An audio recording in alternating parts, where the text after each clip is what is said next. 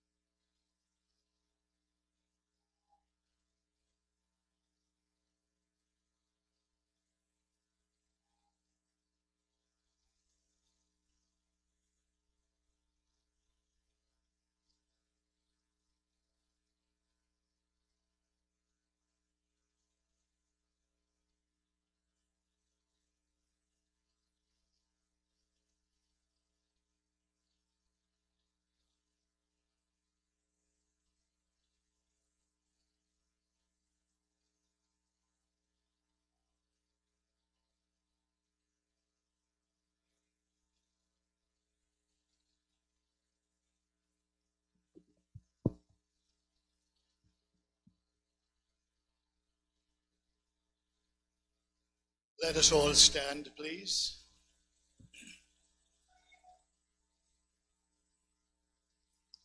Lord, you have been our dwelling place in all generations.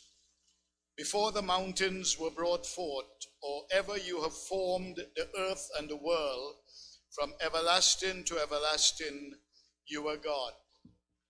You turn man back to dust, saying, Return to dust, O sons of men. For a thousand years in thy sight are but as a day that has just gone by, or as a watch in the night. You sweep them away as with a sleep of death. They are like the new grass of the morning. Though in the morning it springs up new, by evening it is dry and withered. For we are consumed by thine anger and terrified by your indignation. You have set our iniquities before you, our secret sins, in the light of your presence. All our days are passed away under your wrath, and we bring our years to an end as a tale that is told. The days of our years are threescore years and ten, or even by reason of strength, fourscore. Yet is there trouble and sorrow, for they soon quickly pass, and we fly away. Who knows the power of your anger? for your wrath is as great as the fear that is due you. So teach us to number our days, that we may apply our hearts to wisdom. Return, O Lord, how long will it be? Have compassion on your servants. Satisfy us in the morning with your unfailing love, that we may sing and be glad all our days. Make us glad as many days as you have afflicted us, and as many years as we have seen trouble. May the beauty of the Lord be upon your servants and your splendor upon their children. May the favor of the Lord our God rest upon us. Establish the work of our hands upon us. The work of our hands, establish thou it. Good morning, ladies and gentlemen. We're gathered together here today to celebrate in the midst of mourning, to give thanks in the midst of grief, to bid farewell, knowing that it's only for a moment, to thank God for giving us a gift, a true gift, and in His wise providence, to receive that gift unto himself. We pray today that the Holy Spirit will attend to all that is going to be done. God will be glorified and you will be strengthened and comforted. Let us pray. Almighty God, we bow in your holy presence and we thank you that in the midst of grief or rejoicing, in the midst of pain or pleasure, we can call upon you. For the eternal God is our refuge, and underneath are the everlasting arms. We pray that your holy presence will fill the sanctuary and that you will attend to every person here, that you will minister strength and comfort and guidance and wisdom and enlighten the way forward. As we conduct this service, we pray for the help and guidance of the Holy Spirit. In the name of our Lord Jesus Christ. Amen. Would you please remain standing for a time of worship and praise?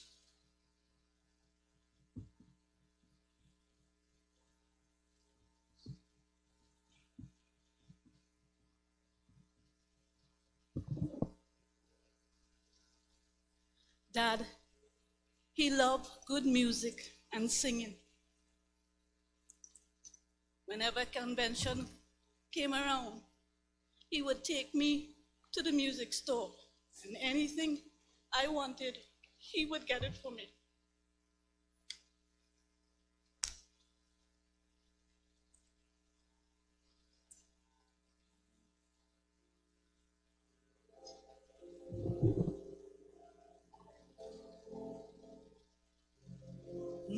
Have a home prepared where the saints abide, just over in the glory land.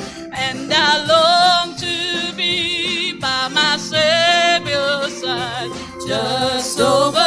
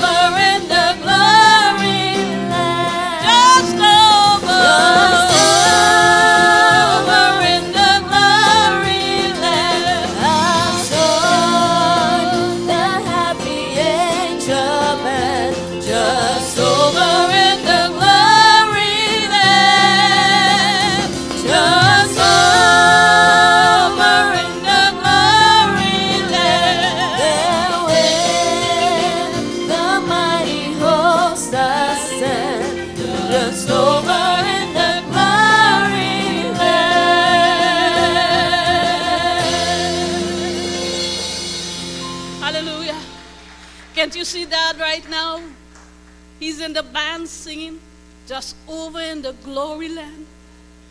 There's another song that he loves to sing.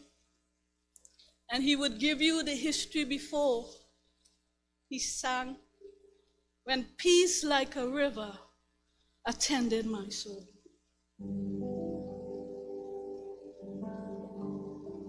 Well,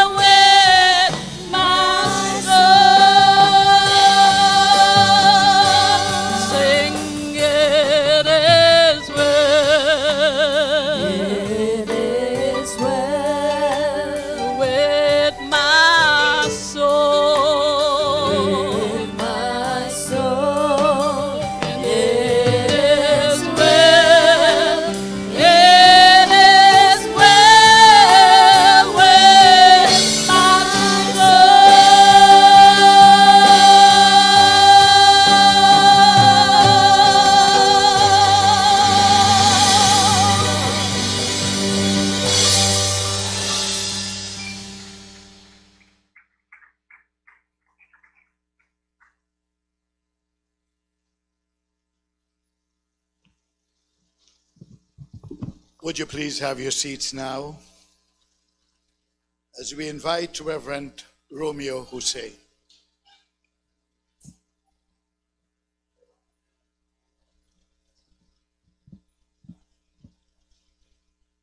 as we are gathered here to pay our final respects to our bishop, this homegoing service.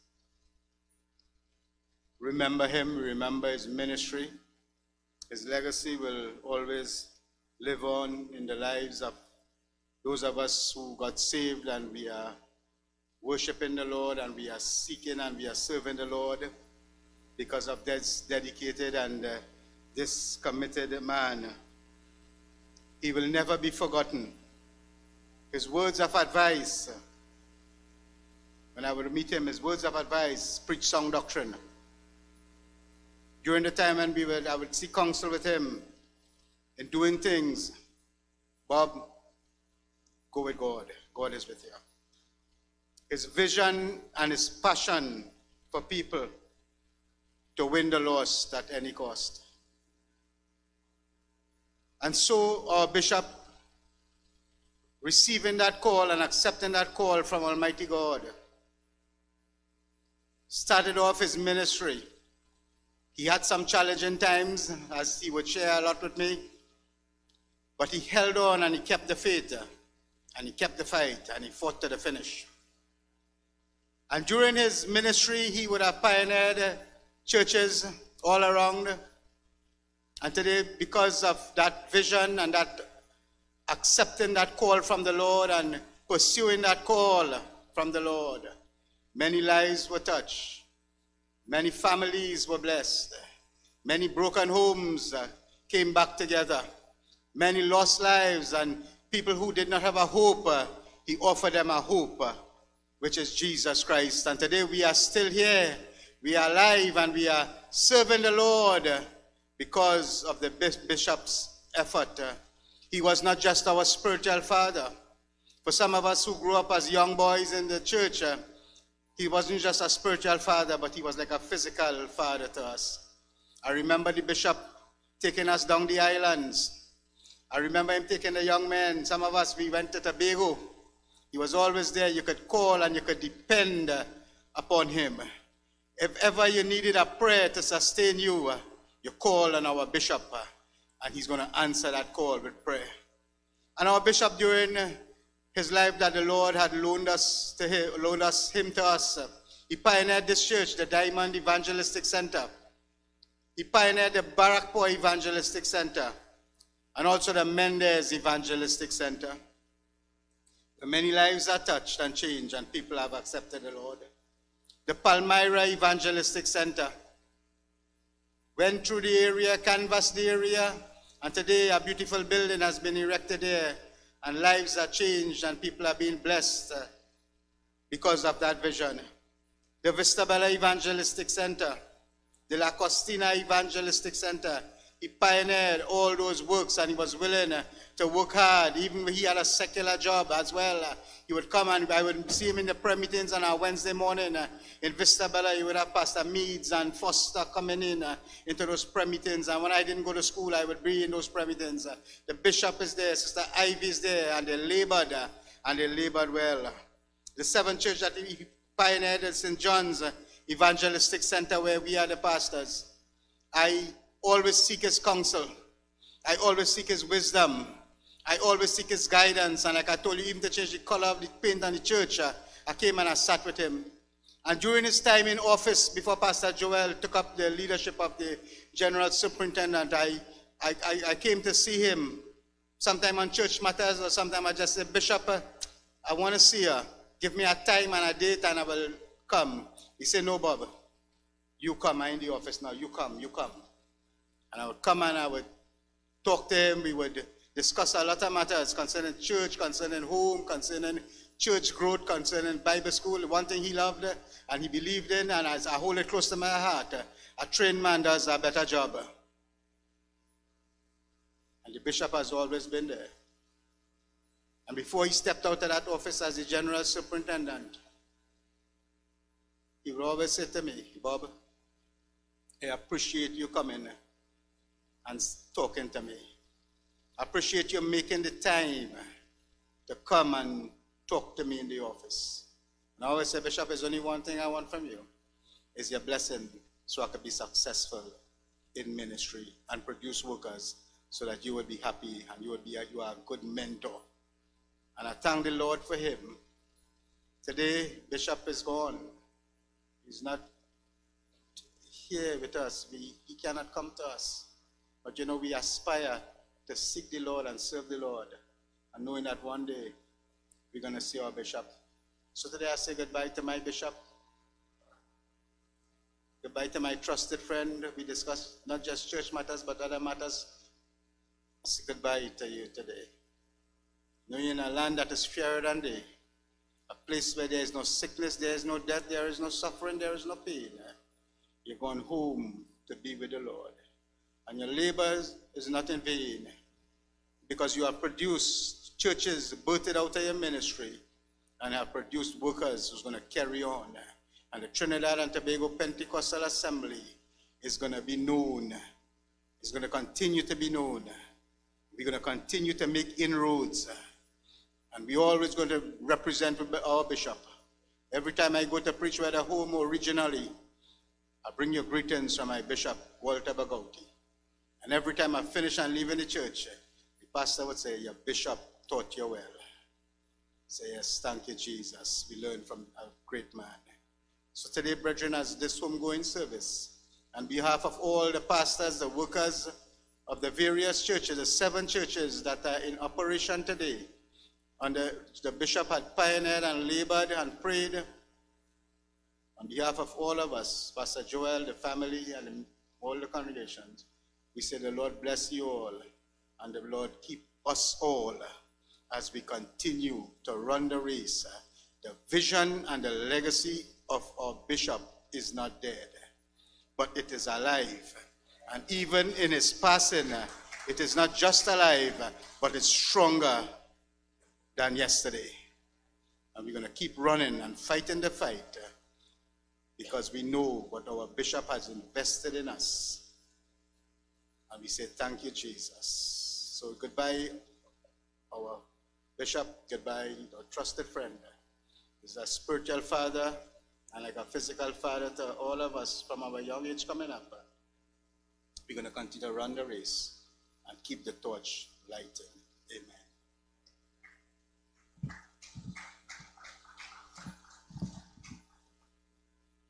Philip Albert Bhagoutie, the eldest child of the bishop will come now to do the eulogy.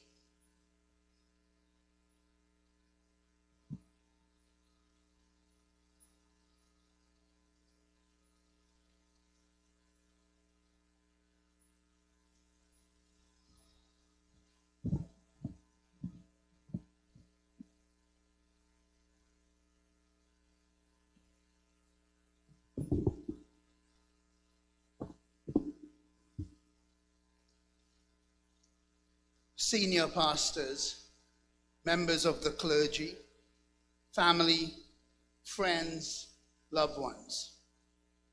My father was my mentor, my friend, advisor, and counselor. I am the oldest of five children born to Bishop Reverend Walter Bhagoutie and Ivy Janice Bhagoutie. I called him Daddy he called me son. His favorite scripture, Philippians 1 6, was one of his. He wrote it on everything birthday cards, letters to family or friends. He would end it with this reference Being confident of this, that he who began a good work in you will carry it on to completion until the day of Jesus Christ. I am honored to pay tribute to this very special and irreplaceable man of God. Thank you for gathering in this very special place. Those of you that are here in person and those of you that are viewing online. This was a vision that he started and pioneered this is the church he built. He loved it here and was proud to call this church and this assembly home. We have gathered here today to give thanks and to celebrate the life of Walter Bhagoutie, better known to some as the bishop, the Rev, Pastor Walter, Brother Walter, but more than anything, a preacher of the gospel of Jesus Christ. When I think of Daddy, I cannot think of him without thinking of my mother, Sister Ivy. She loved my dad, and he loved and adored her. When she passed away, he was left with a deep sense of sadness that even to the end was painful for him. He really, in his last days of his life, missed my mother. He can now see Mammy, the love of his life. He would affectionately call her dude. I can hear him say, Dude, I'm coming home. Or even doing that whistle, the old folks will remember that when he whistled, she would leave everything that she was doing and come and look for him. I am sure there were shouts of joy, trumpets blowing, as now another child of God has come home. Daddy had a profound and deep spiritual conviction concerning the Word of God, the Bible. He loved the Scriptures, it governed how he lived. He believed that the Bible is the truth of God and Jesus Christ, our Savior and Lord. I remember clearly when he had surgery in Canada, he was lying in the hospital room, unable to be still. He was giving the nurse a bit of difficulty as he was very anxious. I came to see him, and because he had just had surgery, he was tired very fidgety and agitated. I remember taking the Bible and turning to James, and I began to read the holy word of God. As I read from the book of James aloud, I saw the word of God in action as it began to resonate with him. He became reassured and calm and then started reciting the word with me.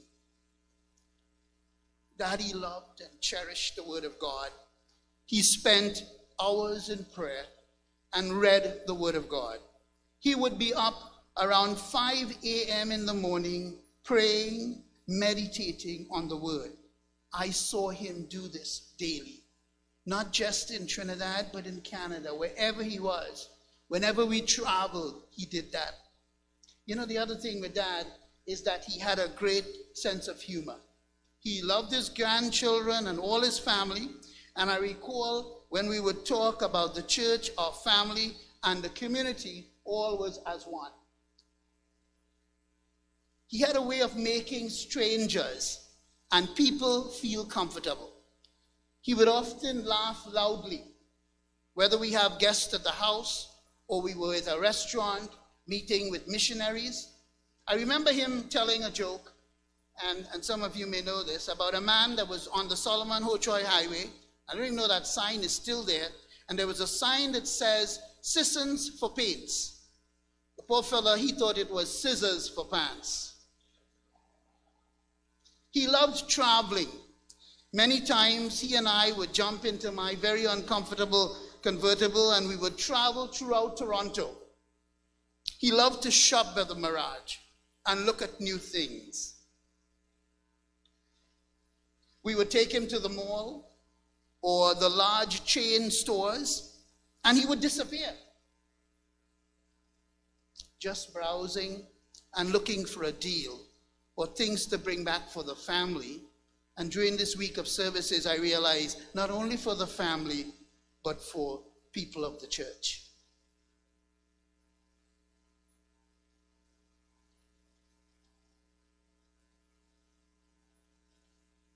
You know, he always had Trinidad on his mind. His family, the people, and the ministry. When the pandemic started and he was restricted, I spoke to my dad daily. And if I didn't call, he would call and ask, Philip, how's the children? How are things going?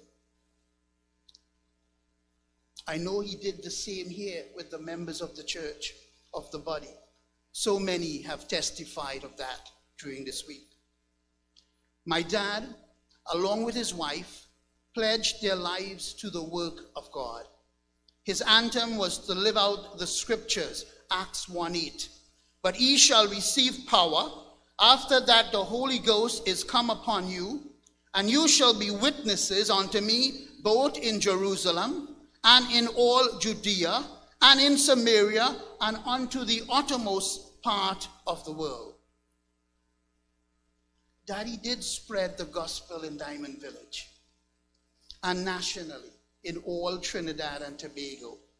And he ventured to other parts of the world, a witness in word, testimony, and an example of his Redeemer. In 1976, he left Trinidad to go to India. I remember my mother and our family were very worried about this trip. While there in India, he preached almost daily. In one of those meetings where he spoke, there was an 18 year old boy that was there. He was captivated by this Indian that spoke the king's lang English with such eloquent and fluency. His dress and his demeanor made an impact on this young man.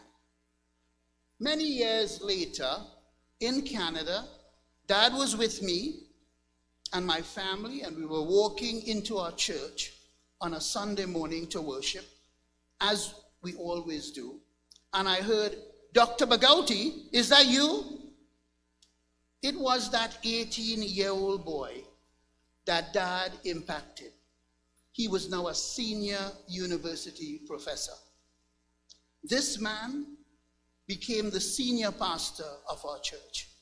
I spoke to him this last week and he again spoke fondly of the encounter and agreed to allow me to share his story, this story with you that took place almost 46 years ago where a young boy that hailed from a small village of Golconda was able to make a global impact for the Lord. Daddy's departure has left a void in me. I love my dad. He was always very generous to me. You know, when I would come to Trinidad, he always met me at the airport. If he could not drive, he would get somebody to drive him. He would always greet me with a hug. And when we got home, he would put some money in my hand, give me a car, and go with me wherever I went. He was a very loving father. He was proud of all of his grandkids. He loved them all. I remember when my children got baptized, he called to congratulate them.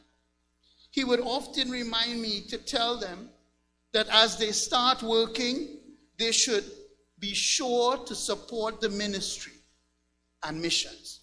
He loved missions. Dad did his best in the service unto God, leaving a legacy in the hearts and lives of those he touched by his values and his beliefs, teaching them to also make more disciples of Jesus, evangelizing their communities and increasing true worshippers of God through Jesus Christ. I know that God controls and rules things. It is God that determines our days and sets our limits according to his divine purpose. Job 14:5. Indeed, he has fought a great fight. He has completed his divine purpose. He has finished the course, a marathon race. He has kept the apostles' faith, henceforth to rule and reign with the saints in the kingdom. This is our blessed hope as the body of Christ. On Sunday, August the 28th, at 10:47 a.m., we just finished worshiping. Bishop Reverend Walter Bhagoutie, a faithful servant of Christ, a loving husband, a father of five, and grandfather of 11, at the age of 82 years, nine months, was escorted by God's angels to the throne of God. And I can only imagine when it, what it was like for my father to step into heaven. And there was the Lord Jesus Christ to say, Well done, good and faithful servant.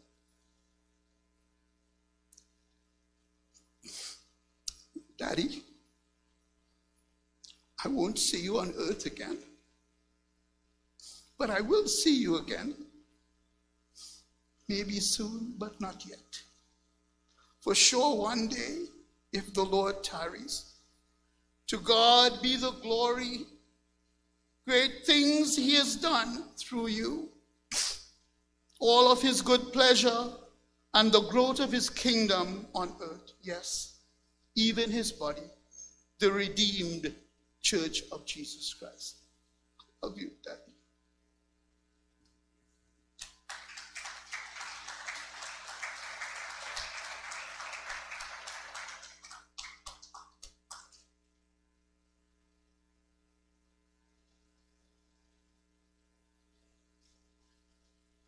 We will now have a special song by Anna Bagwandas.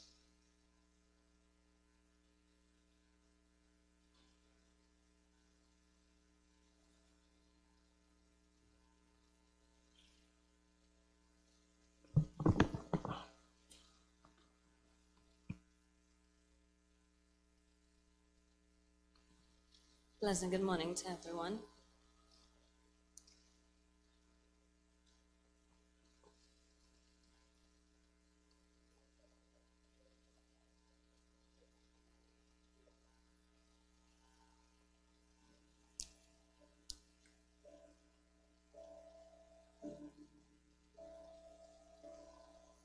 Today is a very difficult day.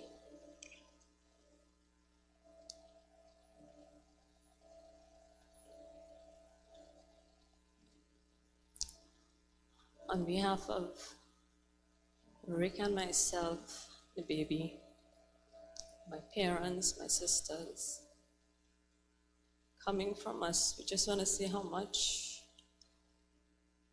we loved and appreciated our pastor.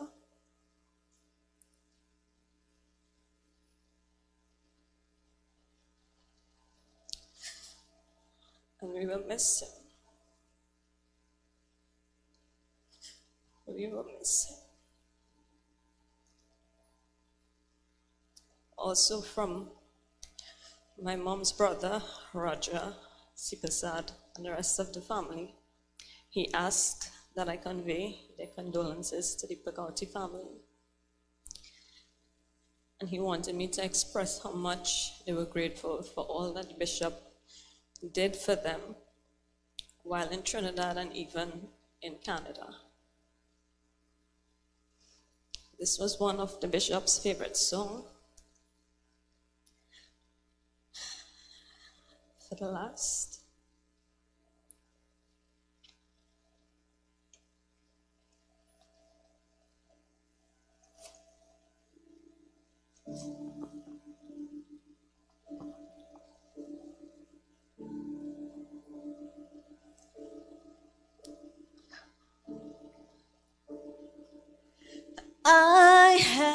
Journeyed through the long dark night out on the open seas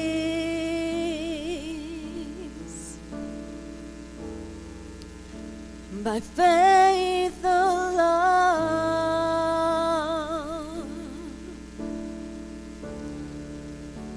Sight unknown.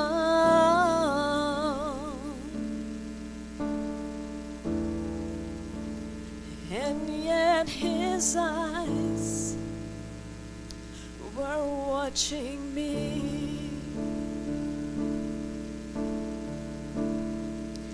the anchor holds.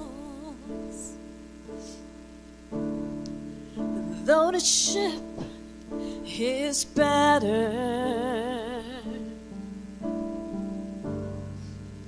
the anchor holds. Though the sails are torn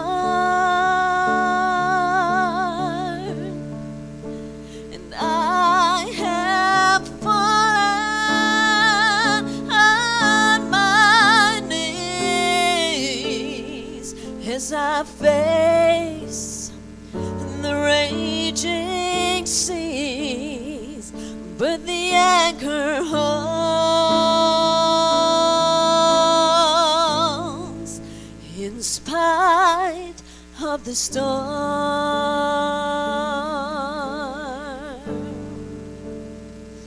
And I've had visions,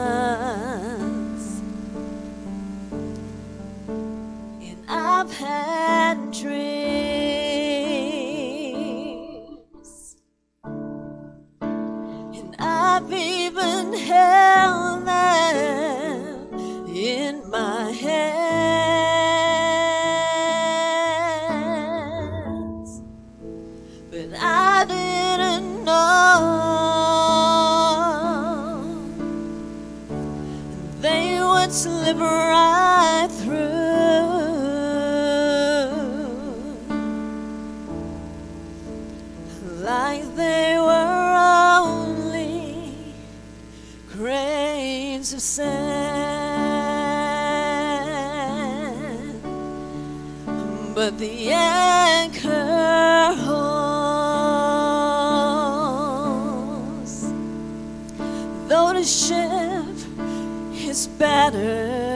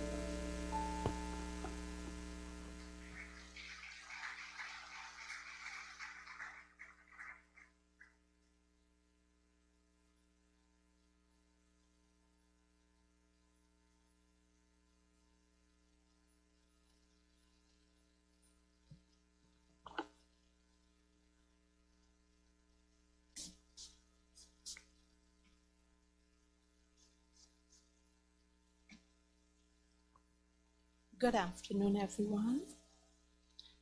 37 years ago, I had the privilege to sing this song for the late, our beloved Reverend Ivy Janice Bhagoutie.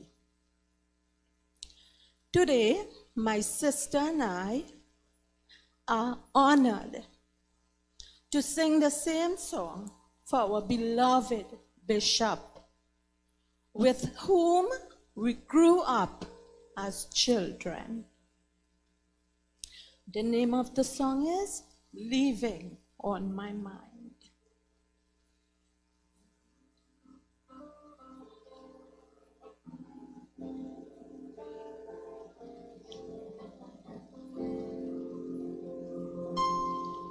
This old house I'm living in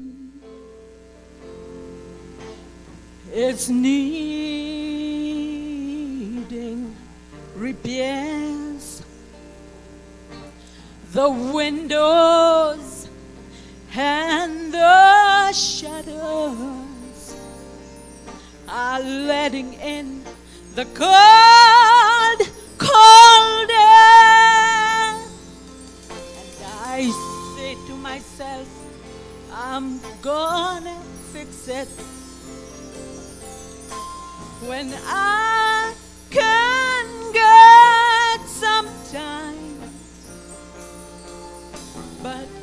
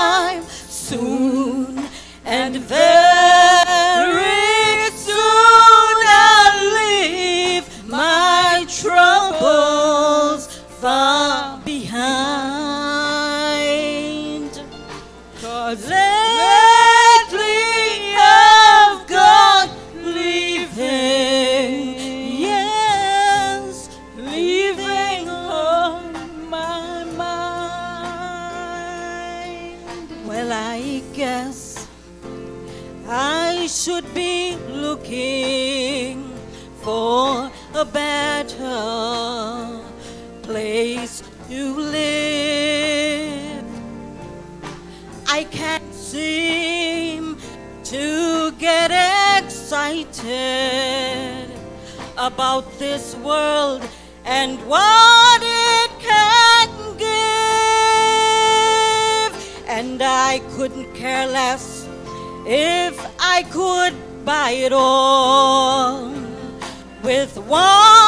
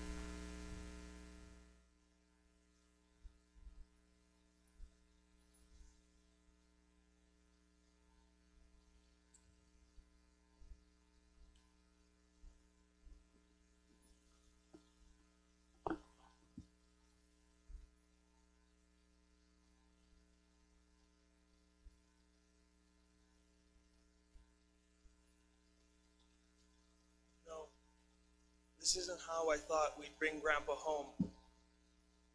But I'm so thankful that we have finally brought him home. And that we could have we could carry him into the church that he loves so much, with the people he loves so much. I want to thank everybody that came here today for their support and love. It is truly appreciated by the family. Today we gather to remember a very special man, a man whose entire life was dedicated to his family, the church he loved, and to our God. A wonderful father, a loving grandfather, my grandpa.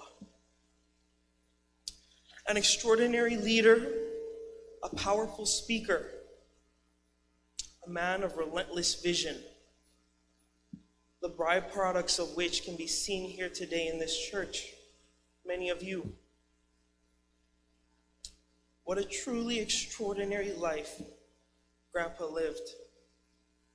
For those who don't know me, my name is Philip Albert Walter Bhagoutie III. I'm Grandpa's eldest grandson. I'd like to think I'm also his most handsome grandson, but we won't fight today.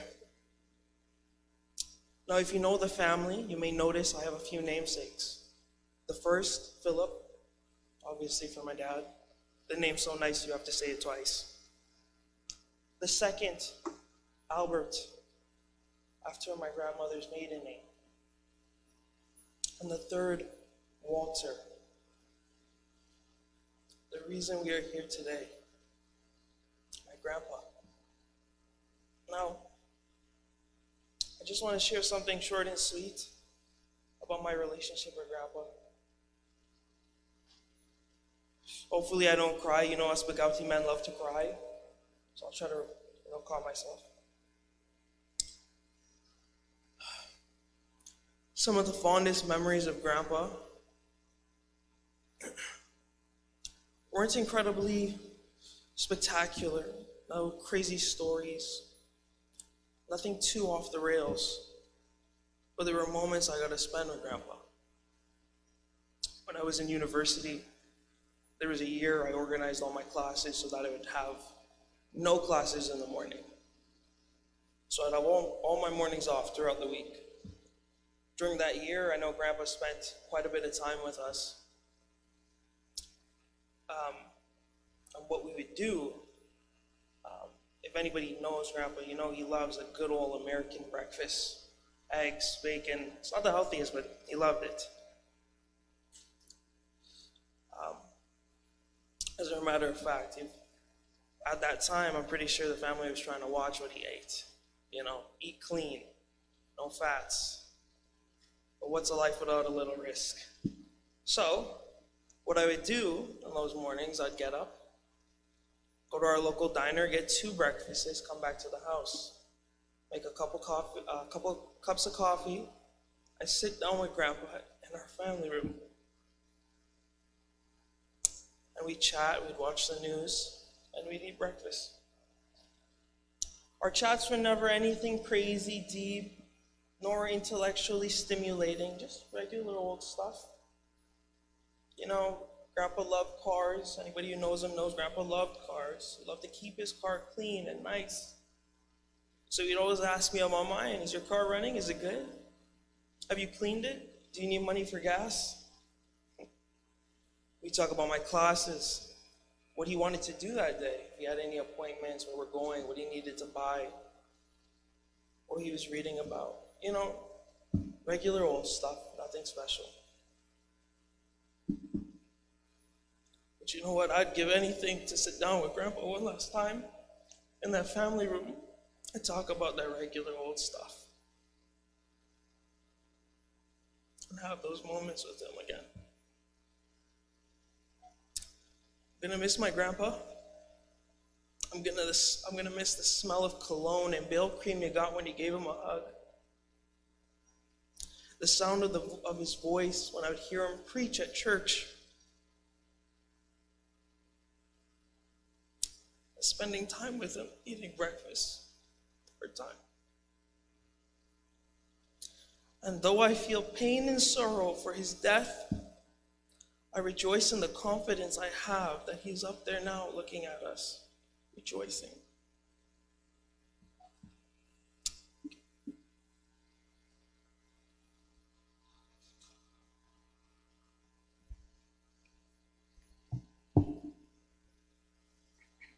Um, uh, so my name is Phoebe, and I'm um, one of Grandpa's grandchildren. Grandpa had so much love in his heart for all of his grandchildren, and I'm so lucky to be one of them. I'm so grateful for the love and encouragement Grandpa had always showed me specifically. He would always tell me how he's praying for me each day and how much he loved me. And I could always feel that warmth and love from him every chance I got to spend with him during his visits to Canada. There are so many pivotal moments in my life that I know Grandpa was so happy to be a part of, and I happy to have him. But more than anything, I think he was just happy to be there for us in any way he could. I remember there was even a time when I was young uh, where my mom was busy and couldn't pick me up from elementary school. And since grandma, grandpa was visiting, uh, he would come and pick me up from school. Uh, since he didn't have the car, he would walk to school to get me. My teachers would ask who was coming to pick me up, and I would say proudly, my grandpa's coming to pick me up. I know for sure that he, the love he had for me was very special. I remember how happy and proud he was to hear that I was pursuing medicine. He always used to ask me how school was going and be so encouraging every time we spoke. When I look back at the times um, when I was uh, doing, completing university, one of the things um, that always pushed me to work hard uh, was just knowing how much unwavering confidence Grandpa had in my future and in my abilities. Though Grandpa might not be here with us anymore, his legacy and the memories we cherish of him still are, and I'm so proud to be part of that legacy.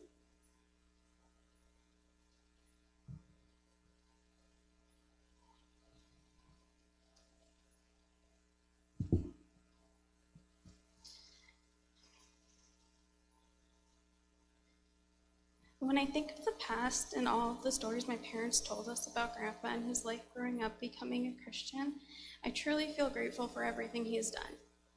Family was very important to Grandpa, and he loved all of us. One memory that I will always remember of Grandpa is when he would take me and my siblings on a walk near our house to the plaza and he would take us to the dollar store and he could he would say that we can get anything we want. I remember being really excited during those times.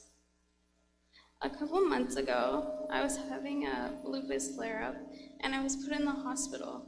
During this time, Grandpa was very worried about me and he would always call Dad and tell him that he was praying for me. The last time I spoke to Grandpa was a couple weeks ago when he was in the hospital.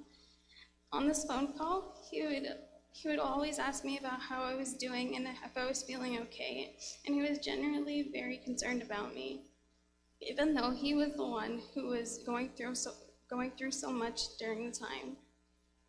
And that's just how Grandpa was. He was someone who always worried about others more than himself.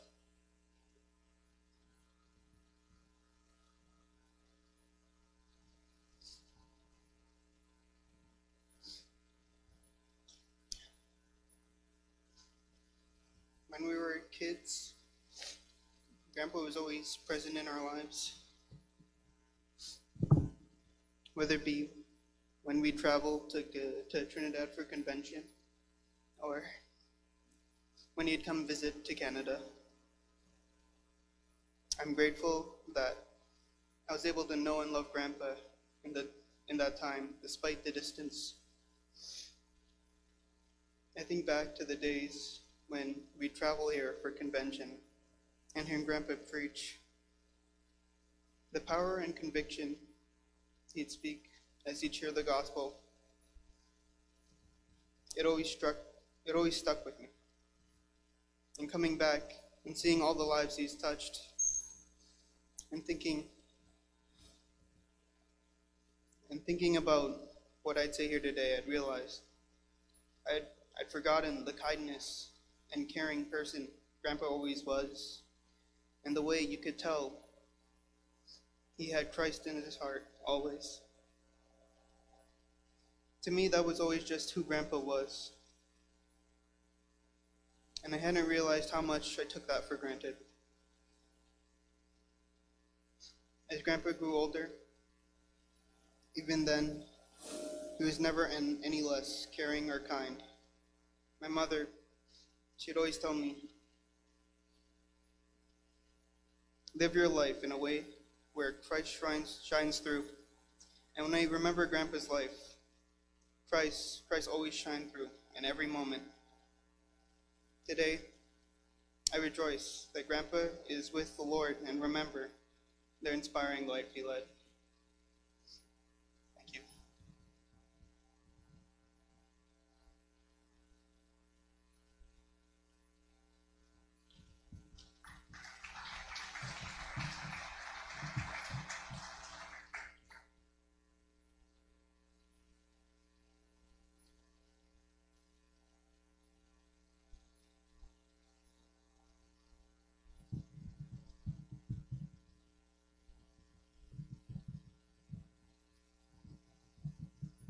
Morning. My name is Joel Bhagoutie. I am the second son of Bishop Walter Bhagoutie.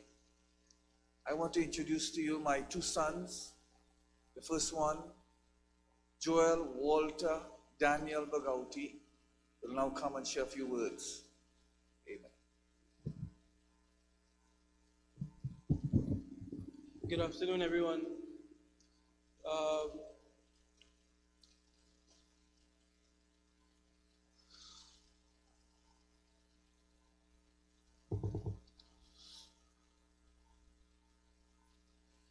it's very hard to stand up here today.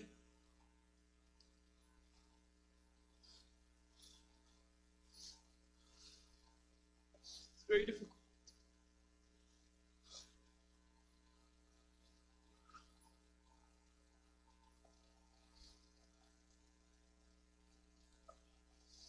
I think um, all of us are here today because, in one way or another, Would have had an impact on our lives. Uh, some of you all know him as Reverend, Rev, Bishop, Pastor Walter, Brother Walter, uh, whatever form respectful name you'd call him, but I knew him as Grandpa. And me and Josh, we never really call him Grandpa, we call him Gramps. Gramps was his name. And I, I'm grateful that we had the opportunity to live with him. Uh, for years, I slept in the same room next to him. He would be the first person I saw in the morning and the last person I saw before I went to bed.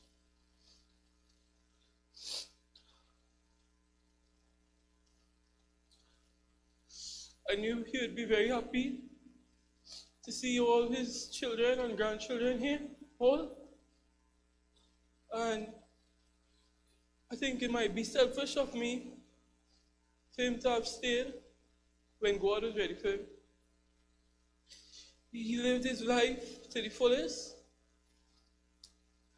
He was my idol, my inspiration, my role model. Thank God that I was able to be his grandson.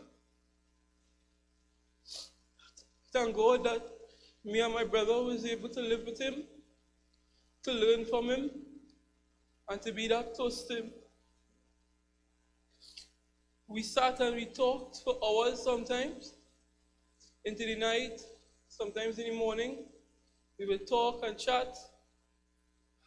And looking back on it now, I appreciate it more. I can still hear his voice. I'll never forget his voice. He'd always ask me, say, Joe, you're good? The number one thing he'd ask me is, uh, Joe, you eat? You eat. He always asked me if I needed money.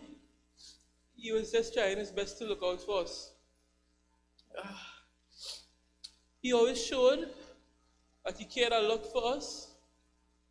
Um, I would like to think everybody knew how much he loved us and how much he would, I would like to think he talked about me very highly. Right? Um, he always had dreams of me becoming a doctor and my brother becoming a lawyer.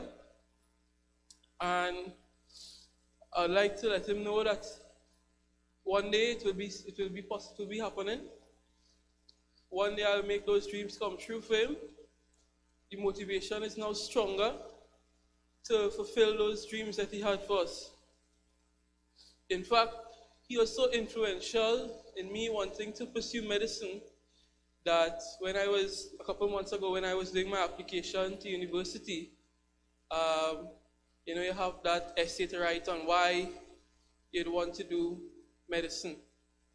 And he was the focal point of my essay. Look back, looking back on the times we spent together, uh, I'm grateful that I got to be with him when he was fit and he could have played and laughed and we could have explored the backyard. He taught me how to plant plants, how to mine animals. I remember he, um, he went and he purchased about five or six uh, chickens. He make us name it and like pets, and then about a month after, he make me kill it to eat it, right? Um, I'm grateful that I was able to spend the last couple of years driving him out. Anywhere he needed to go, I was more than willing to carry him. Um, most often, we would go to the barber because you all know how much he likes to be neat and trim, properly dressed. And uh, it was uh, probably every two weeks we used to visit the barber. And in fact, the barber was one of the first people to come home to give condolences. That is how close he was with his barber. Um, over the last week was rough. Me and him would talk a lot, and he he conveyed to me that he was lonely, he was missing his wife. 37 years without his wife, he was faithful to her only, and he was ready to meet her again. he finished his work that he had to do for God. In my opinion, he did more than he, than he needed to do. If we look around today at what he did, I'm very proud of him, very proud to carry his last name. Even though there were a lot of ups and downs, he was there with me through all. He was there with me from before I was born to now. Um, he told me that how when he died, he doesn't want any crying. I apologize for that. Um, he said he doesn't want any wake. Specific, the exact words were like a week of celebration. That's what he told me. And thank God that we were able to have a very enjoyous past um, week. Everyone was able to come, very lively services. I'm sure you would have enjoyed it a lot. Um, this is to Grandpa. I would miss him. I would miss him a lot. I As my, my grandpa.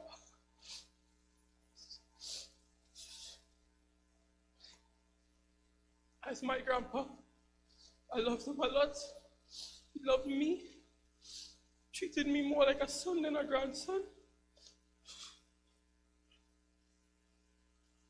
And I take comfort in knowing that where he is, he's able to pray for me like he did every morning. He would be there on his couch when I get up. Sometimes I would get up early. He would be there praying, his eyes closed on the couch.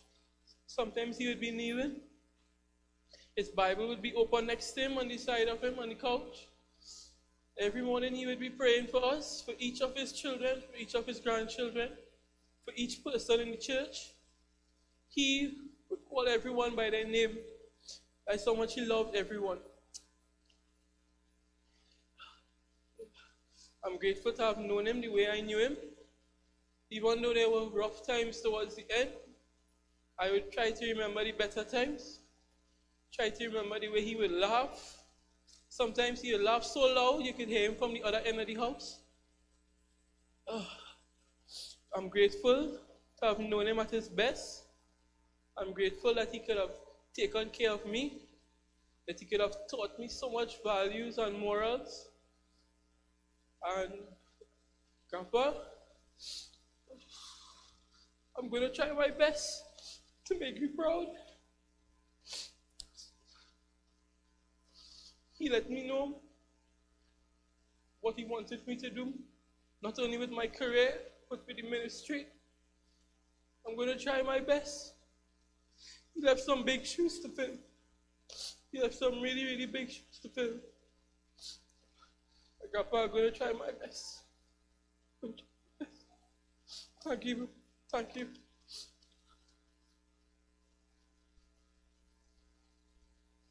This is my second son. This is my baby. And Pastor Walter loved chatting with this young man. His name is Josh William David Bhagoutie. Josh, come. Good afternoon, everyone. Well, as you all know, I'm the baby of the family. Well, so far. And, well, Grandpa, me and Grandpa had a special bond. He always, every evening, used to call me upstairs and he would put me to sit down on his bed and he would talk to me and tell me all the things he went through in life.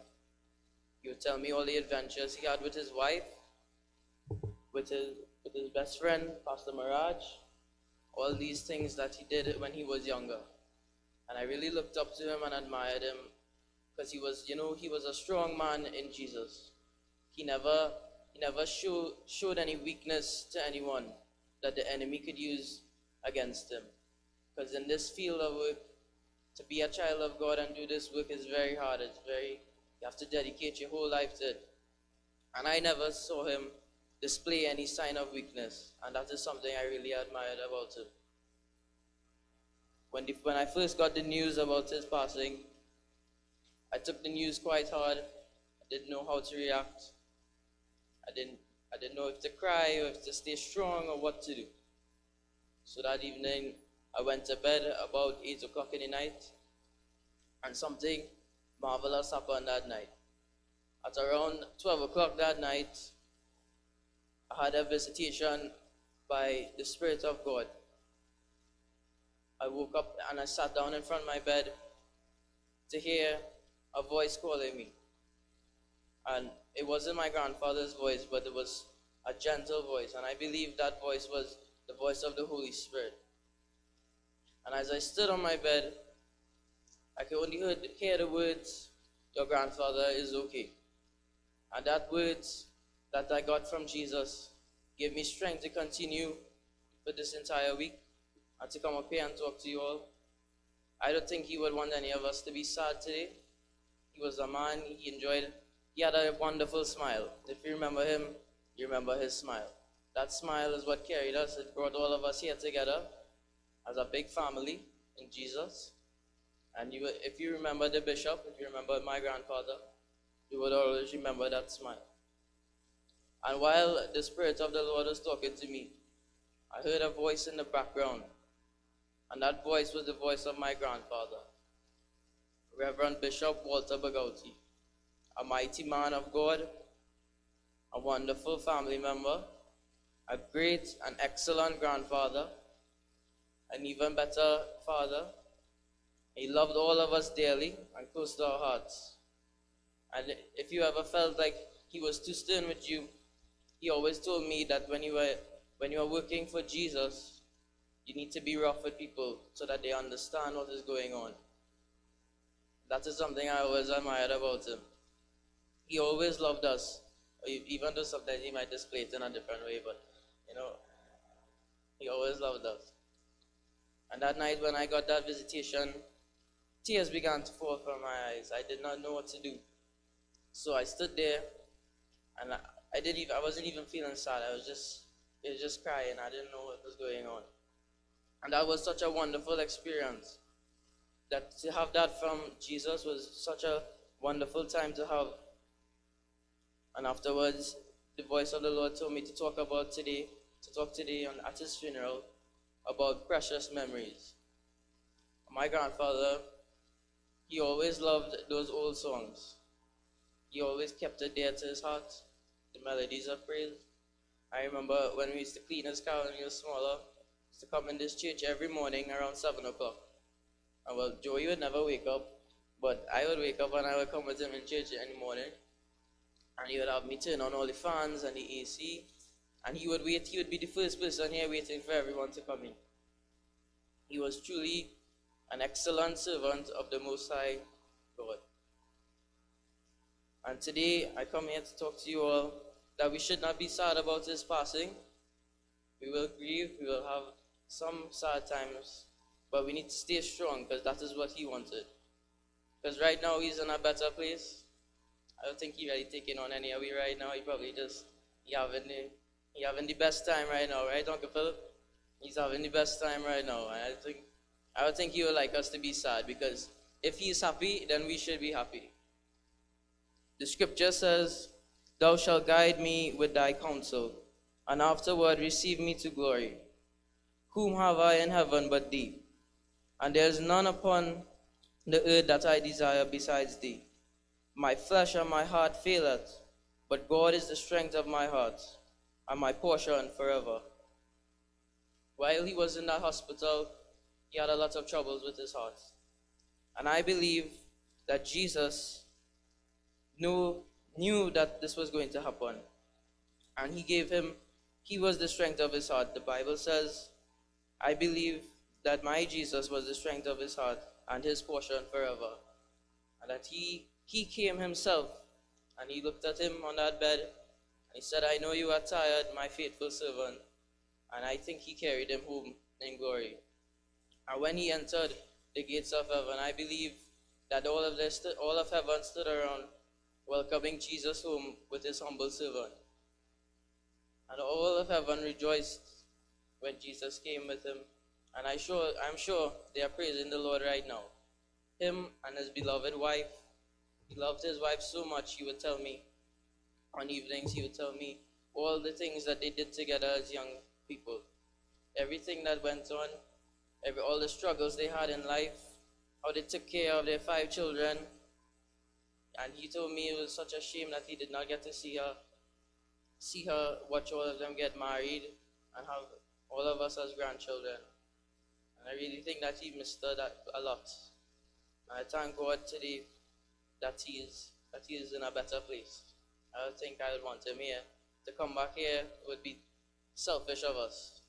And I don't think we should ask for that. I know that he is he's doing far better than all of us right now. Yeah, and he's enjoying himself a lot. If we could all stand, please. I'd like for us to sing a song, Precious Memories. All of us here have precious memories with, with the bishop. Each and every one of us. I can't really sing that well, but he had a voice to sing. If you all know him, he had a voice. When he came up here, he would sing a lot. He loved it a lot. I don't know. Choristers could sing, please. Can't really sing too good. I, I, we'll try. All, all of us could join in.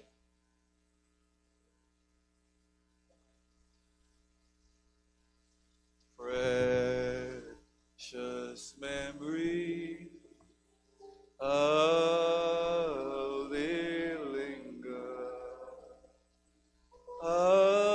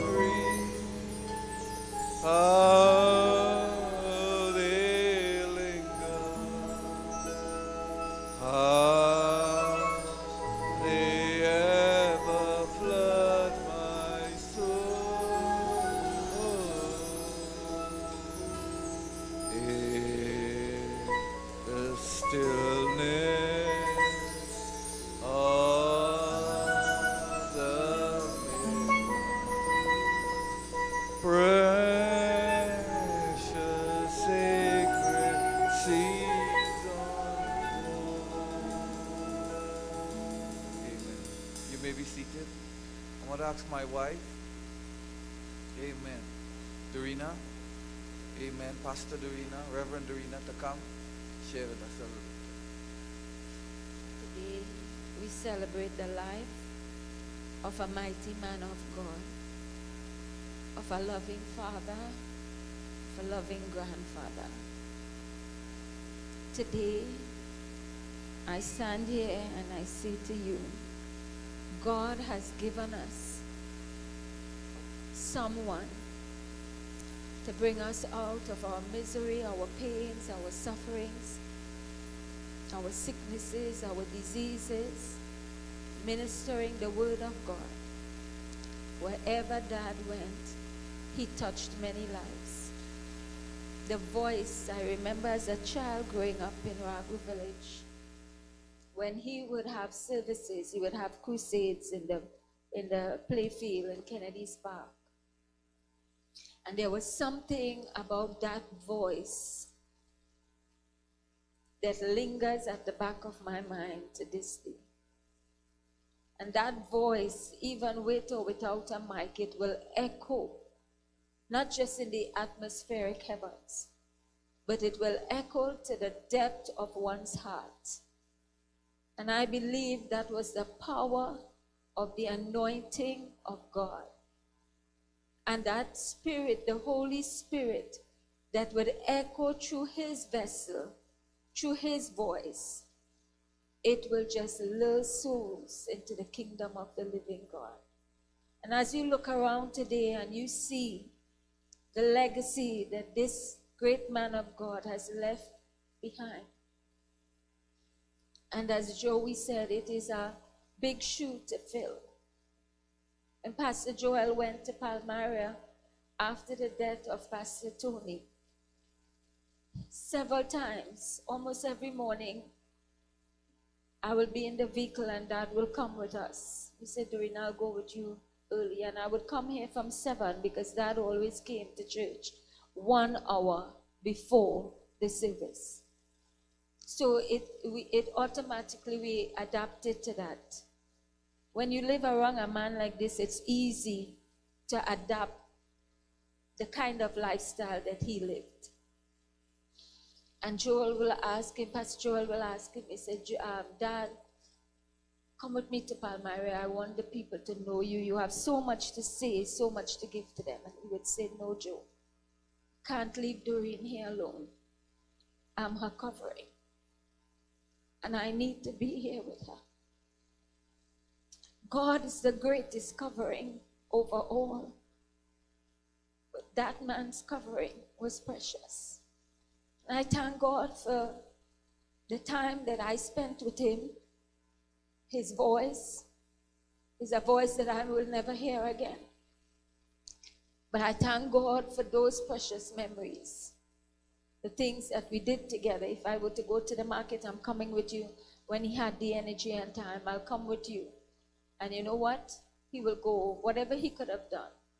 When I first got married and I came, Dad would do all the meats. He will clean everything and, you know, he will bring it. And sometimes it had little other things in it, you know, and I had to rewash it. But that's okay. He did his best to make sure that I didn't have all the workload to do. So today, when I come back to this church, you know, today is the last day. He will be here. The Bible says to be absent in the body is to be present with the Lord. It will take something hard. It will take great strength to come here on a Sunday morning or Wednesday morning. His presence is not here to support. A high priest of my home is gone to be with Jesus. But Jesus is a greater high priest. And I thank God for all that he has given to me and to my sons. And God bless his precious soul today. In Jesus' name.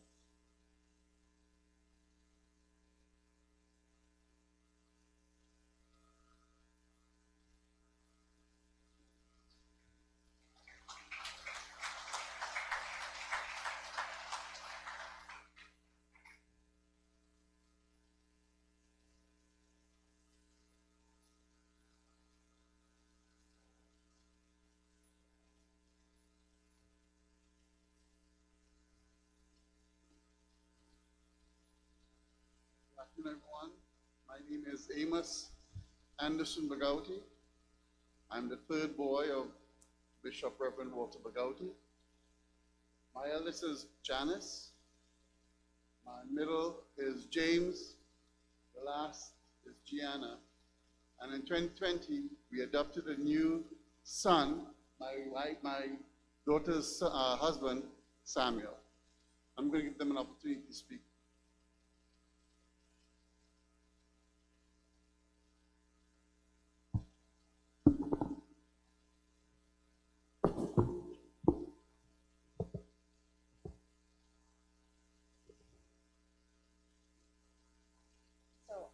I, am the eldest grandchild, but I'm also the shortest. So um, being here in Trinidad with all of my cousins, it feels, it's been so long since we've been here. It feels, it feels surreal. Um, it reminds me of summer vacations when we were younger and we would come. Um, yesterday when we were right before the service, we were all eating, and then there's a lineup for the bathroom, a lineup for the sink. It just reminded me all when we were little, and um, it, it was, it's bittersweet. It feels so nice to be all together, but obviously the circumstances um, are not. Um,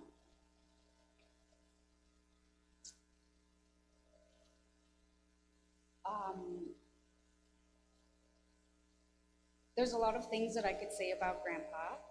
One thing that we both had in common um, was a love of travel. Um, we'd all, I'd always look forward to sharing upcoming trips with him, uh, whether it was going to London, to Peru, to Zimbabwe. He always had a story to tell about uh, where I was going. Um, he always had a person to tell me to look up.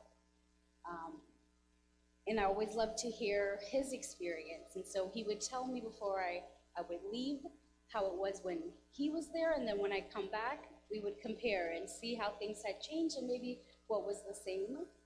Um, I know that he was really looking forward um, to visiting Brazil to meet my husband's family and um, experiencing uh, the culture. Um, Grandpa was always open to trying new foods. Um, and so when he would come, often it would be just when I was finished university for the summer. And so we would spend our, our day together. Um, and I would always make breakfast and lunch. And during that time, as Philip mentioned, people were very concerned about his health. And I was very strict. Um, and so I remember I, he, he, had a, he had a sweet tooth and on my watch he would not get any dessert. So I, felt bad. I was like, let me let me try and look up a recipe where I could, you know, maybe make a little sweet thing for him. And I found a recipe for avocado chocolate pudding, um, which is which is just as good as it sounds. avocado blended up with cocoa powder and honey. And so we, we ate our, our lunch and uh, I said, "Hey, Grandpa, I have I have a little dessert for us." And that smile that we've been talking about spread across his face, a little sparkle in his eye, and he's like, "Oh, really?" Um, and then I brought out this pudding, and um, he took a couple bites, and I said, "How is it?" He said, "It's good. It's good." It wasn't good. he ate the whole thing, and um, the recipe that I made made a enough for a couple days, and he ate it all, and he never complained. Um, and uh, you could just tell that he enjoyed spending that time together, and he appreciated the things that you would do for him. Um, and so I think about that a lot, and it's a funny story, but um, he would never tell me no, I didn't like it. Um, and so I think that speaks a lot to to how just humble and grateful he was. Um, and so we will we will miss that. It was so odd coming to service yesterday and he wasn't here. I haven't been in Trinidad for a number of years and um, it was definitely a, a, strange feeling for us, but um, we're here to reflect on his life and um, it was a, a, full a full life. and um, he is in a better place and he is having a better time than us. And we can be assured that we will see him again.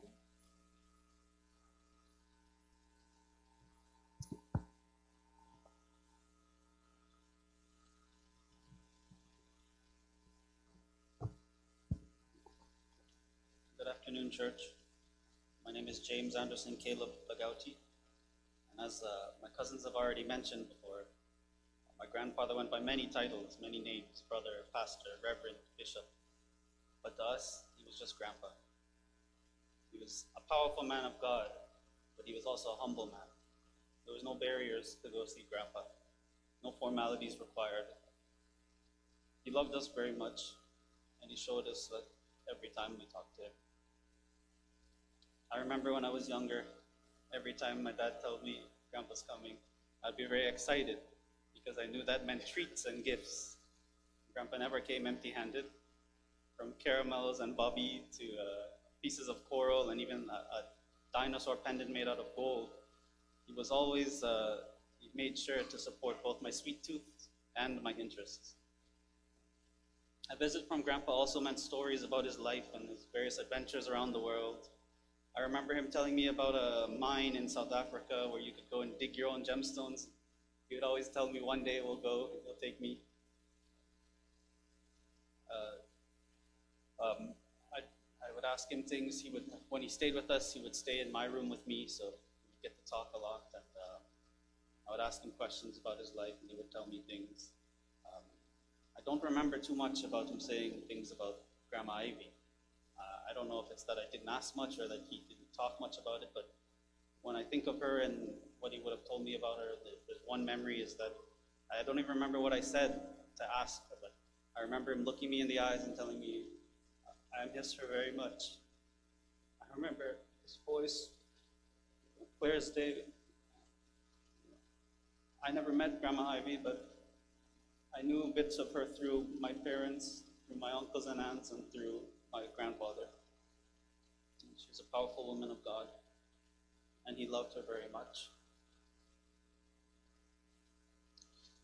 Stories that he most liked to tell me about when I, when I would ask him are, of course, the stories about his ministry and his adventures as a pastor specifically.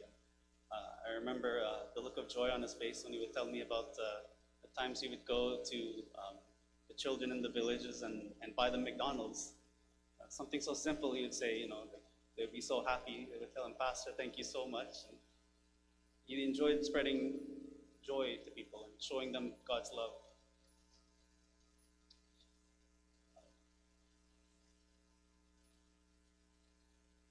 He had a heart for showing God's love to people. He was a wonderful man. I'm very sad that uh, he's not here. Um, and I know his body is here in front of me, but uh, earlier today we got to view view the body, and uh, you know, I can say there's this in these pamphlets we gave out.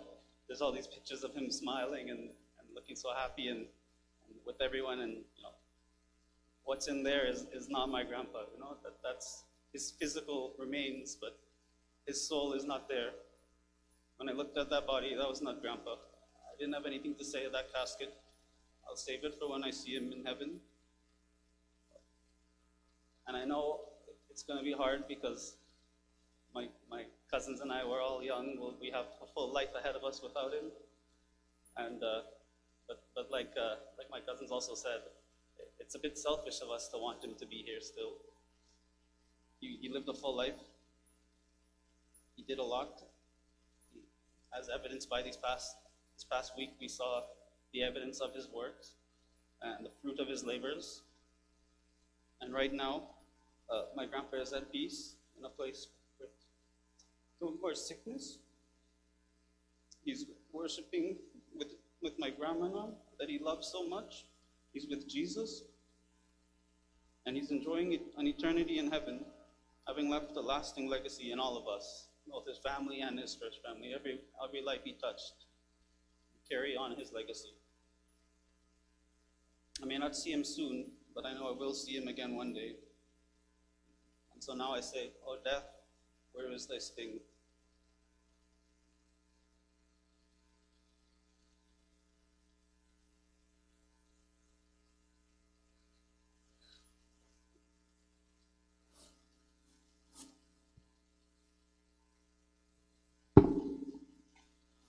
Adjusted for height. Um,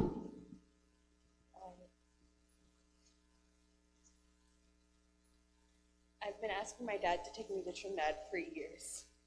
Um, when I was younger, I think I came last time, maybe I was 12 or 13. I'm 22 now, so it's been almost 10 years. I, I, I've been begging him for the past five years to take me to Trinidad. I didn't think this is how I would get here. Um, my name is Gianna Rosanna Ruth Bhagoutie.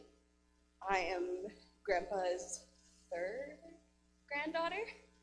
Um, I'm also a Gunu. For those who don't know, my grandmother's sister Mona, um, Rosanna Gunu, uh, and her family, we are very, we are very talkative.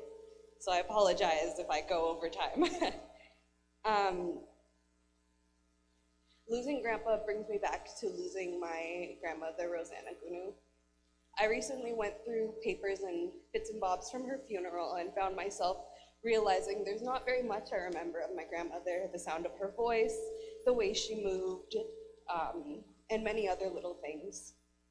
As with mo most things in life, this grieving process has been bittersweet. I know when you lose someone, it's difficult to find some sweetness in it. But one thing about my grandfather is that he was always camera ready, um, which worked out well because we loved, as you can tell by the, the folder, we loved taking pictures of him. Um, I, he had an issue finding pictures of me and grandpa because I think I was always the one behind the camera taking the pictures for him. So it's hard to find pictures of us together because I was always, he was always my model.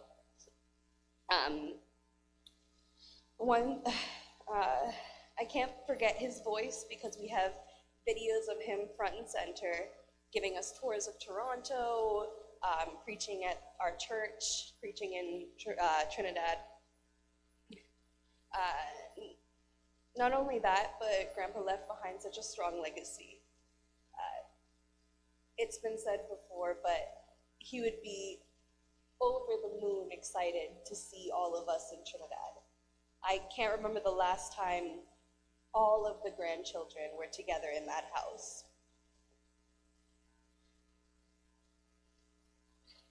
I will continue to remember his legacy through my dad, my uncles, my auntie Lada, and my many cousins.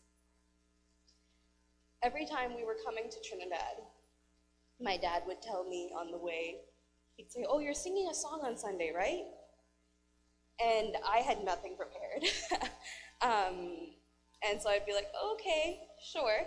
Grandpa loved to hear me sing, and uh, he loved to, to uh, worship together. And um, and I'll miss that. Um, he, like many of the other grandchildren, he was one of my biggest supporters. Um, I have a song, and just like we would sing it in Trinidad when I would come when I was younger, it is not prepared. There's no music prepared. There's I don't have words queued up. Um, but I'd like to sing "Abide with Me." Uh, as far as I know, it's an Anglican hymn, and um, Grandpa grew up in the Anglican church originally, and um, and I found this hymn, and I remember talking to my family, Uncle Philip, about it, and some of my other family, and nobody knew this hymn because it's not in the melodies of praise. um, but Grandpa knew it, and Grandpa liked it. Uh, so I'll do my best. um, Abide with me, fast falls the eventide. The darkness deepens, Lord, with me abide. When other helpers fail and comforts flee, help of the helpless, abide with me. I fear no foe, with thee at hand to bless. Ills have no weight, tears lose their bitterness. Where is thy sting death? Where thy victory? I triumph still.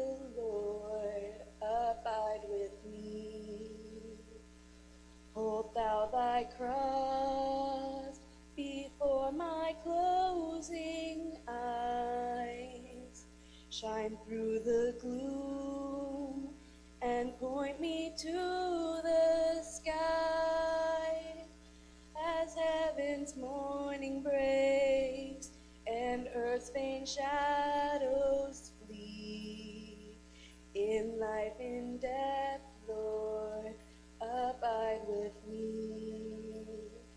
In life, in death, Lord, abide with me.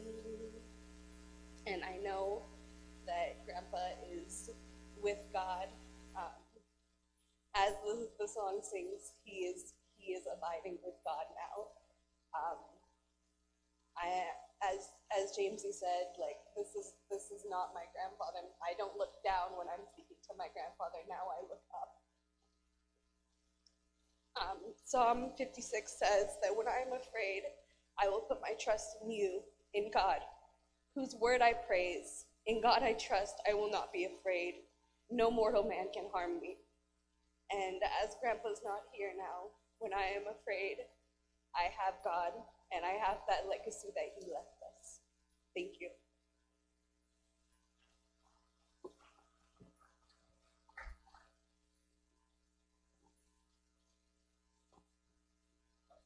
Here with me my wife, Debbie.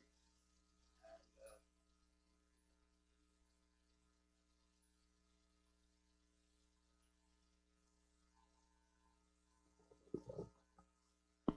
Hello, church. Just want to say thank you all for being here to celebrate that life. You know, as I stand in this church, I've been in this church all my life until I left. And uh, all the training and the teaching I've had, Sister Ivy and Pastor Walter has been the major influence in my life. And I thank God for them, and I thank God for having that privilege to be under their ministry. And as we celebrate Dad's life and have this final home, you know, coming for him, I just want to take this opportunity to let you know that Dad knew beyond a shadow of a doubt where he would spend his eternity. There was no question that he would be in Jesus when he said goodbye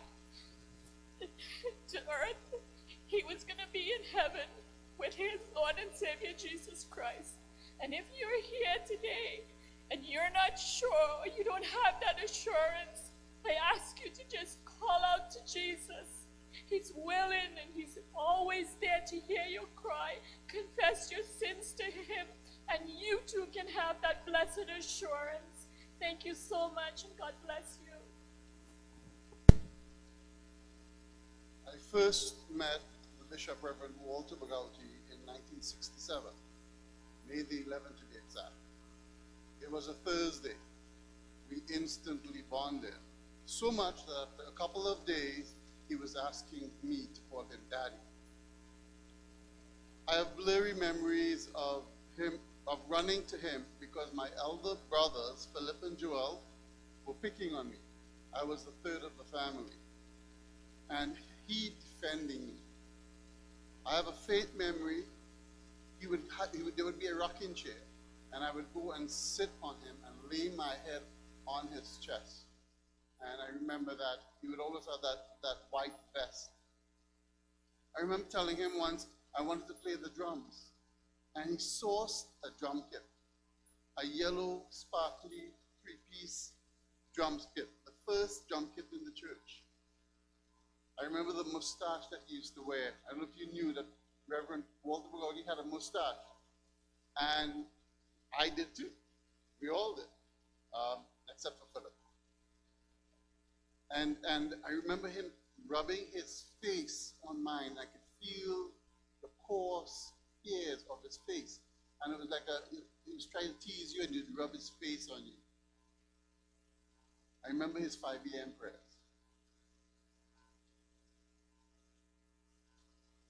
As far back as I can remember, 5 years. He'd be out there on his knees. I often wonder, you know, now that he was older, you know, did he kneel down still or and from the words of Josh and Joey, he still he still now at this age and the strength he didn't have, he was still there.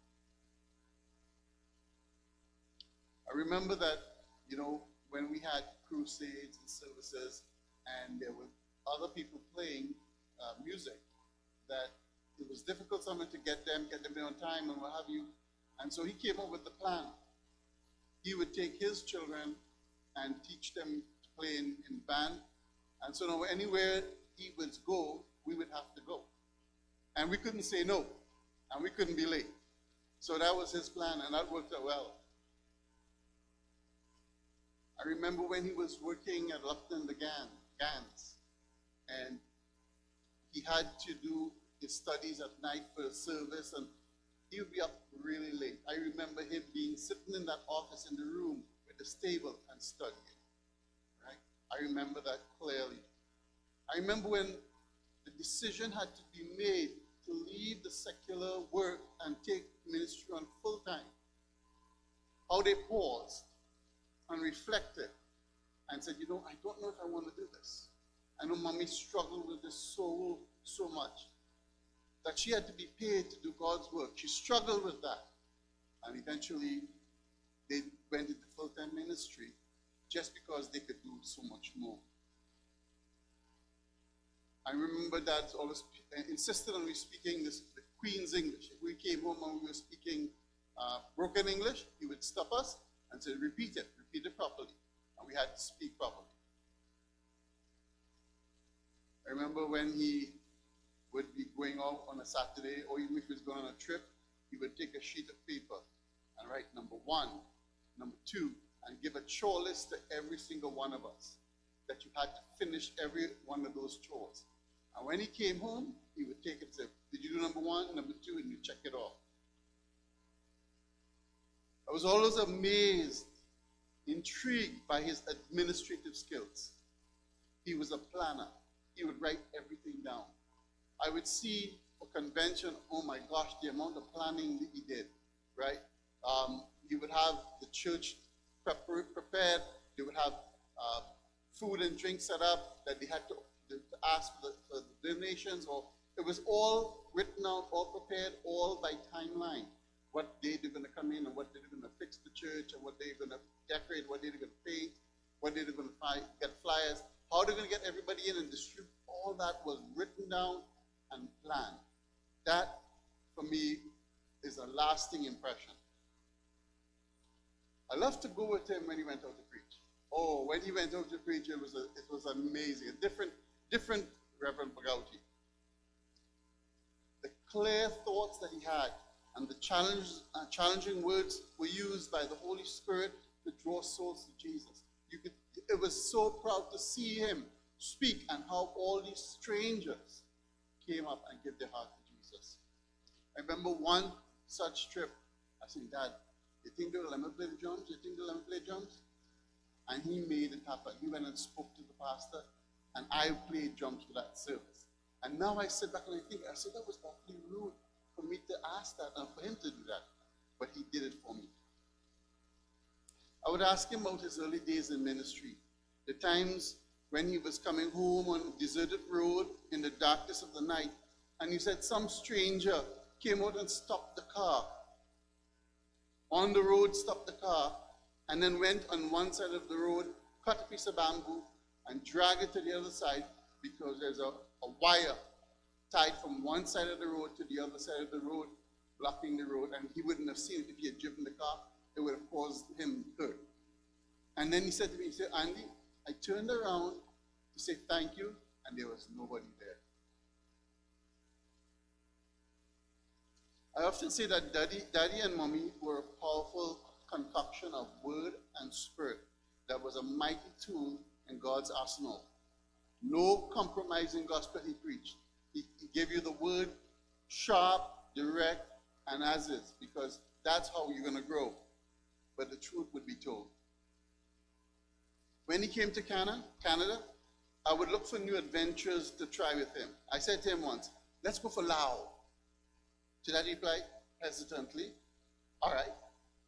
But he didn't know what Lao was. So I, so I explained to him. When we went, we went to this Chinese restaurant, the Vietnamese restaurant, and they bring a big pot in the middle of, of a stock. And then all these raw foods and fishes and what have you. And you take it and you put it in the stock and you eat it. He enjoyed that. He, he, it was a new experience. He was adventurous like that. You know, he, he, didn't, he didn't shy away. He enjoyed it. Up to when I see him, he say, boy, when we go for Lao, let's go for Lao. He don't make fun of it. There's a time that he said, Dad, let's go get some octopus now. And everybody, everybody in my family would cringe, but he said, all right, here we go, we try it. And we decided to buy octopus. We went to this Greek restaurant and ordered octopus. The octopus was rubbery and hard and chewy, but he enjoyed it and he laughed about it. We went to the oyster bar. You go and you order all sorts of different types of oysters, and he loved, he just loved all those different experiences. Him and I had a special bond, special relationship. We would argue a lot.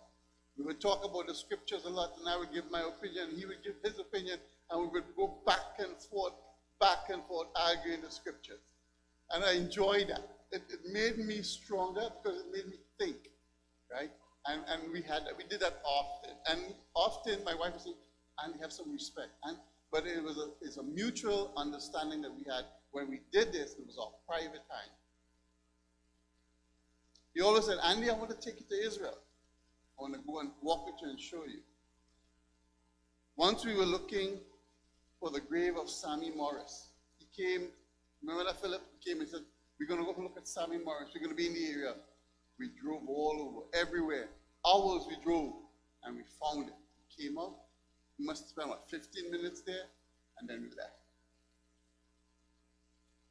But when he spoke of the experience of Sammy Morris, the passion of the, of the word and the prayer, you could see it in his face.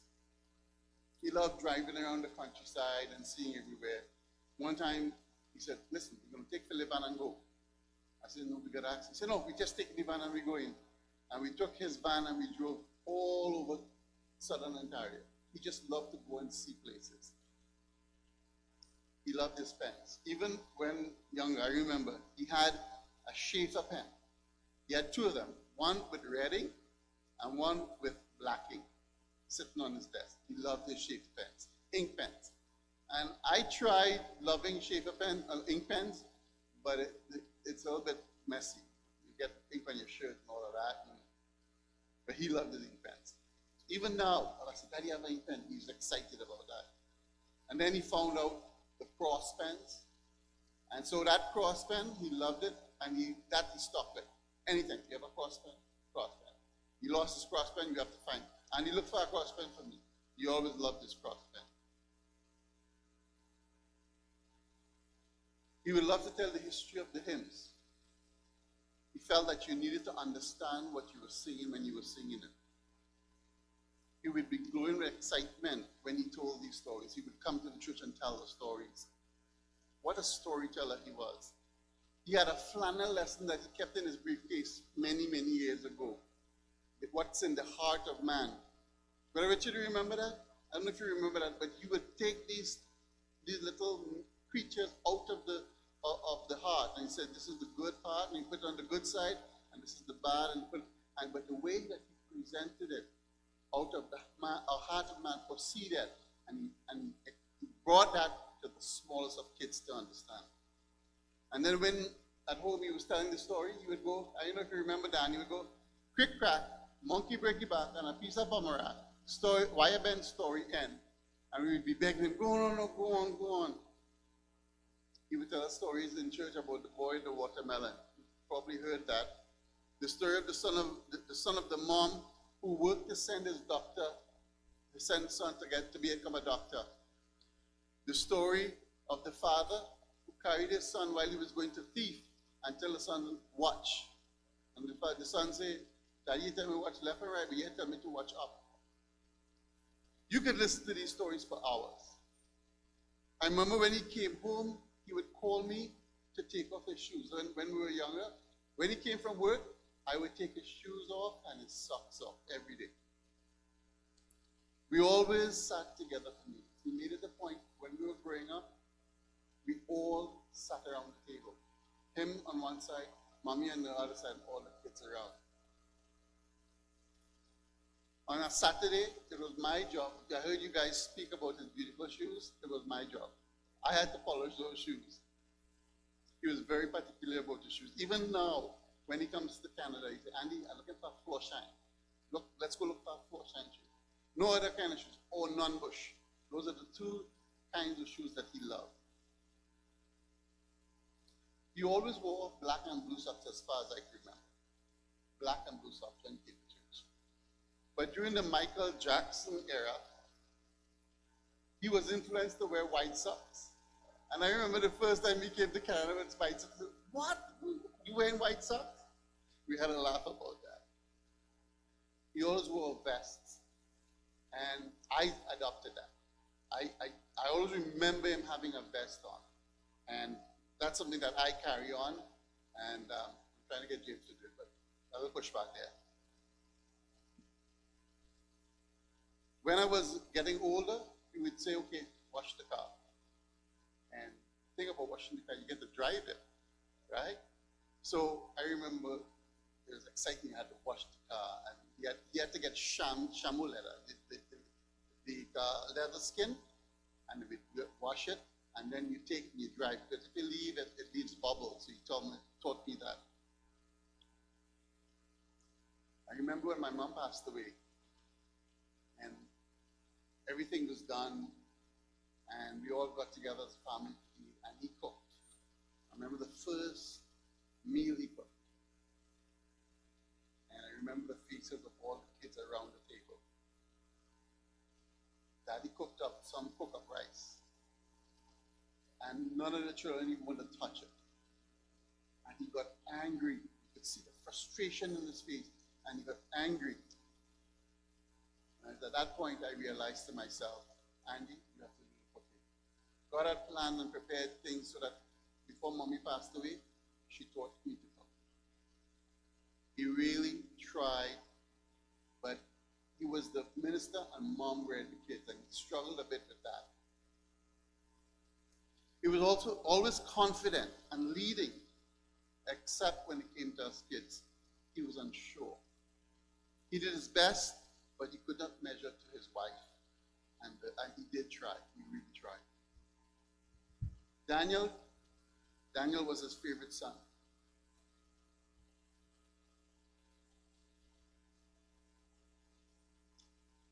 Daniel was the last gift from my mom, and he cherished that. His love for Jesus was real. He wasn't perfect, but he loved Jesus. That was real. I have in my life also tried to incorporate some of these fruits, some of these treasures. I try to I try to get my kids to all sit around the table and eat together. And and in, in reflection, a lot of the things that I do in unconsciously is from looking at his life. He has definitely passed on these behavioral genes to me, and I have in turn tried to pass them on to my kids.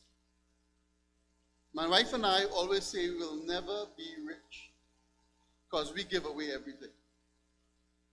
Daddy was like that. That's where I got that from. He loved to give. He would give. I remember struggling in Canada. I know the kids at home, they like chocolate. We went and buy a box of chocolate. cost about 100 bucks for, for a box of chocolate. And he would bring it and put it in the office. And if the kids come in, just give it out like, like nothing. He was proud of his grandchildren. Janice was his first grandchild, and he boasted about it. He and James spent hours talking about the Bible. James was always asking him about the Bible, and he just loved to teach him. He loved when Gianna sang. Gianna would sing to him. He would always say, Gianna, sing, right? He prayed for each one of them daily, and he would tell me that. Daddy, I miss you. Thank you for the impact you have made in my life, the legacy you have built in your children and your children's children. We went to visit Sister Chan, and the first thing she and she said to us, the first thing that Daddy is going to do when he gets home, he's going to dudes, dudes, and call his wife and find her. And she said the second thing is called Pastor Tony. Pastor Tony, where are you? And go look for them.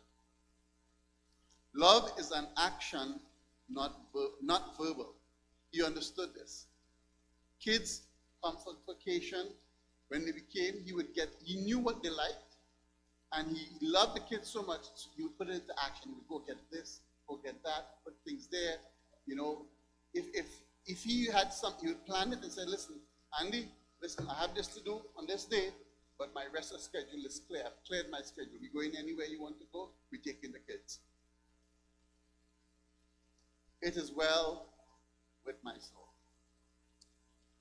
It is well with my soul. It is well with my soul.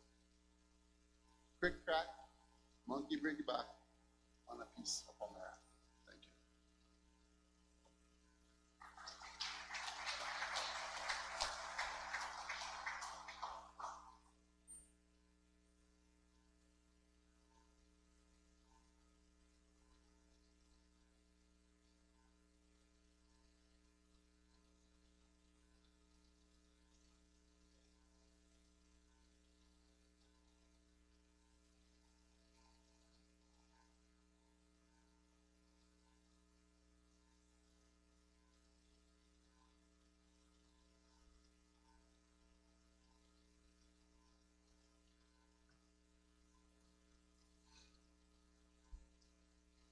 Good day, church.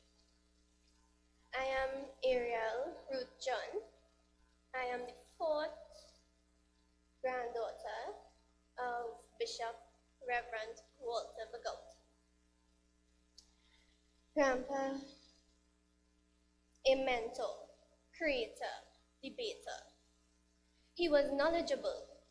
He was the perfect definition of powerful, perfect synonym of bountiful, plentiful, fruitful, giving, and big hearted. He was unique,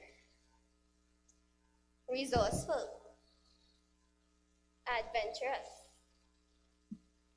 He was a visionary leader. My grandfather and I shared a birthday together, the 28th of November. So we had our own special little bond. As a rule, every Saturday at 8:30 a.m., Grandpa would call me. He would ask, Ruthie, how you going? How was your week? You eat? You had breakfast yet? You need anything? What I could do for you? You have money on your phone? These are some of the questions Grandpa would always ask me. He was always concerned about me, my well being. And I would ask him, Grandpa, what you need? You want me to bring anything for you? And he would say, Nah, don't study me. I worry about you. Grandpa was my pillar of strength. He always wanted me to further my education. And Grandpa, I will make you proud.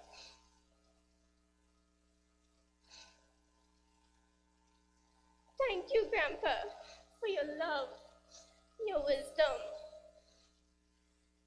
your prayers, and your support. Thank you for always believing in me and your legacy that you left behind. May it live on in me. I love you, Grandpa.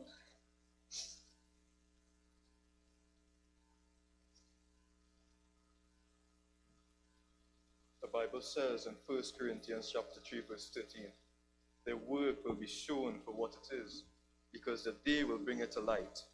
It will be revealed with fire, and the fire will test the quality of each person's work. If the work stands that someone builds upon the the, the foundation, the person will receive a wage.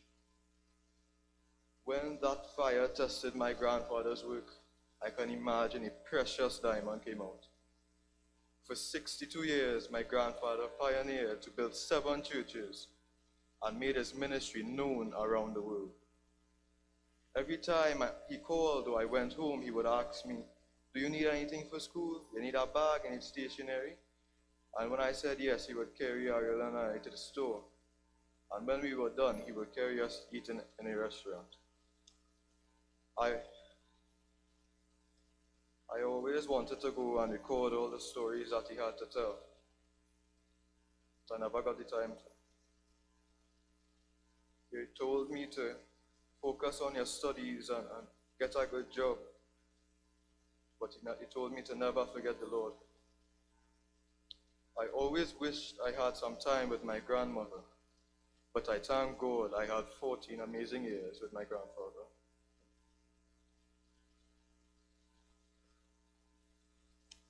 My name is Alana. I am the third child and the only girl for my, the Reverend Walter Bhagoutie. Fourth child. Sorry. I'm thinking three of us. Fourth child, the only daughter. Dad believed in me. He believed in my ability and my capability. Sound system, music, whatever. He knew I could fix these things, so he would always, always encourage me. What you need, let us go down to the shop, let us go down to the store, let's get it. If I needed a new guitar, he would take me to the music store. He would buy this for me. Dad, every January was crusade time and he would list responsibilities and share it out. My responsibility was set up the system, play the music, and every night I would have to do that. I would pack up my car, take it down to the crusade site, set it up, play the music, pack it back up, bring it back up. He believed in me. You, you heard how he traveled often. My job was to pack his suitcase, believing everything. And when he does not see me, he will call, You're coming? You're coming to pack the suitcase? And I would have to pack his suitcase. He would buy all the different stuff for the kids in Canada, and he would just leave it there. I have to pack it. Bible school. Call me up and say, want to teach Bible school? I started to teach Bible school. And after class, he would come to the class and he will talk to all the students. How she do? How was the class? And the students will come back and, and say to me, don't worry, I'll give you a good review.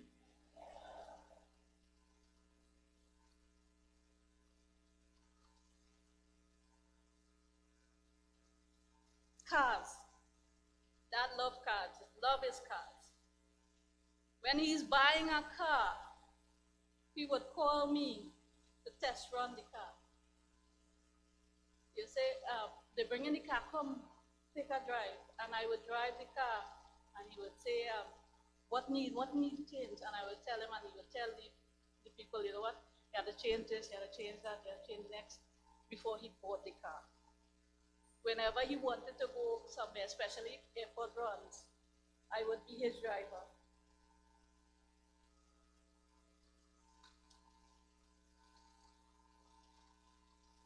The last few days will always be in my mind. It will always be in my mind. That Friday, when we went home, He had fallen and he had bruised his hands and his feet. And I went, I went to the drugstore and I bought some medication and I came back. And Ariel, she took care of his wounds.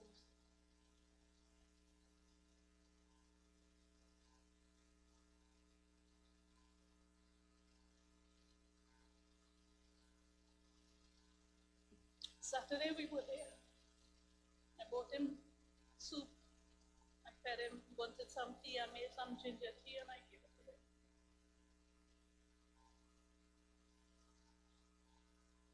And we had to actually lift him, me and my son. And we moved him to the bed. And when we were leaving, I went in, Hayden and I went in, and he said, Dad, you rest, I'm going home. And he turned and he said to me, and I will never forget this. As long as I live, I will never forget the last words of my father. He said, Dan, thank you for all you did for me. And that was the last words my father spoke to me. And he said, Thank you for all that you did for me.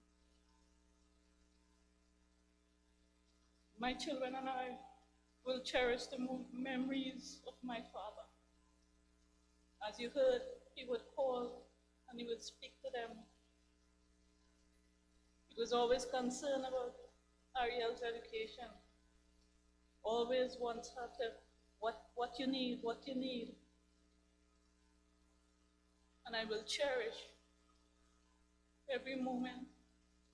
Not too long ago, I fell ill. And he would call and he, he would ask the kids to, ask the kids to come. And we, we went over. And I said, Ruth, tell him I can't, I can't come up the stairs. Tell him I in the car. And you say, wait, mother, she a coming? And uh, after the second time, I, I had to force myself out of the car and go up the stairs to see him. He was so concerned about us. My father is a legendary today. And this we will always remember the wonderful person that he was. God bless you.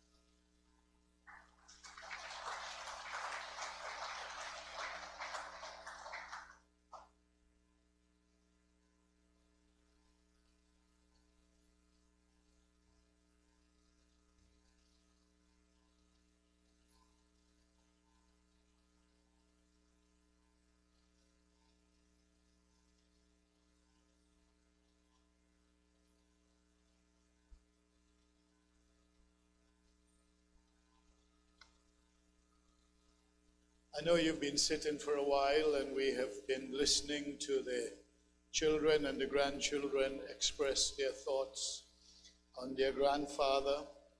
This is a service that doesn't uh, uh, repeat itself.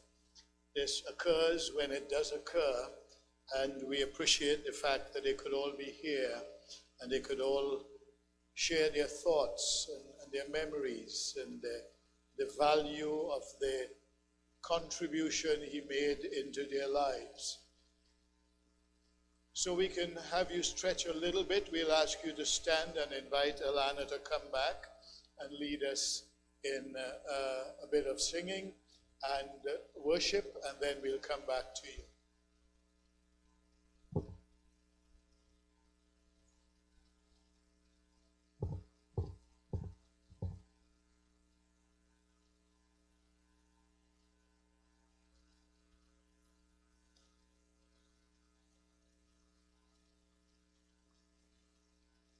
One of Dad's favorite songs. Whenever he, he heard a song, uh, he will come to church and he will sing it over and over and over.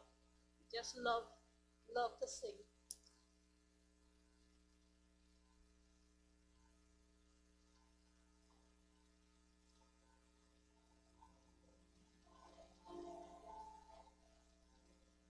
Lord, I come to you. Be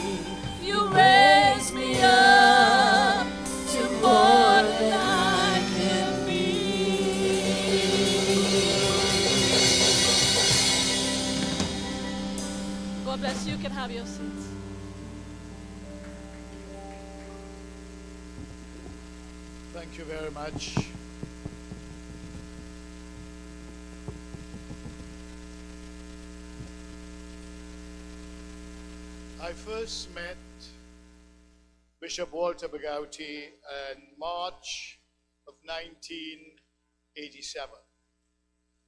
I had heard of him before, but in a meeting that was called with different pastors, we met.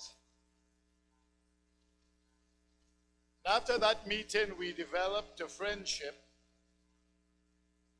that has continued until his transition from this life into eternity.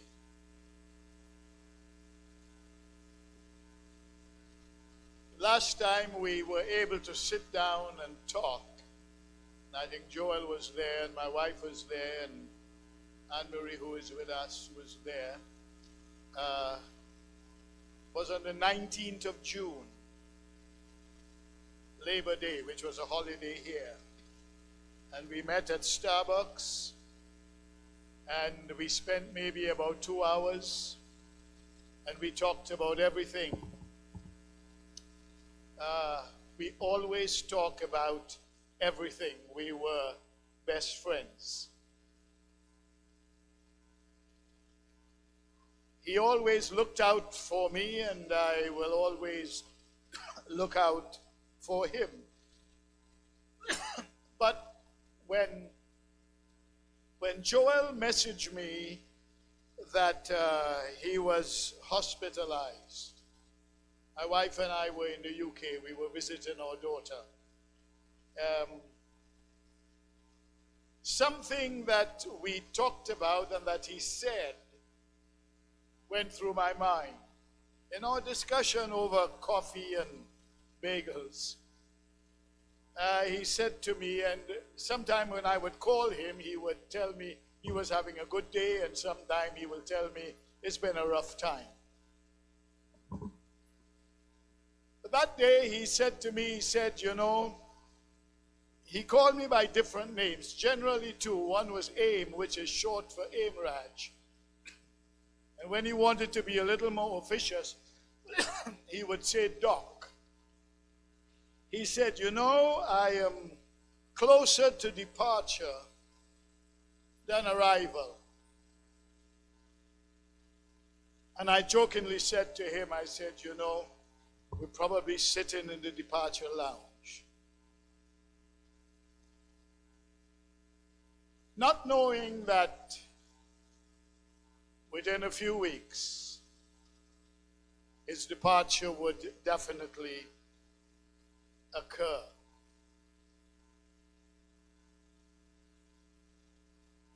Much has been said by the, the children and grandchildren that describes the character, the life, the personality, the morals and values of Walter Bhagoutie. I will try not to repeat them. But in my relationship with him over the years, and we've traveled together. We have slept in the same room. And there's something he will always do, and I never understood it, Philip, when he first began to do it.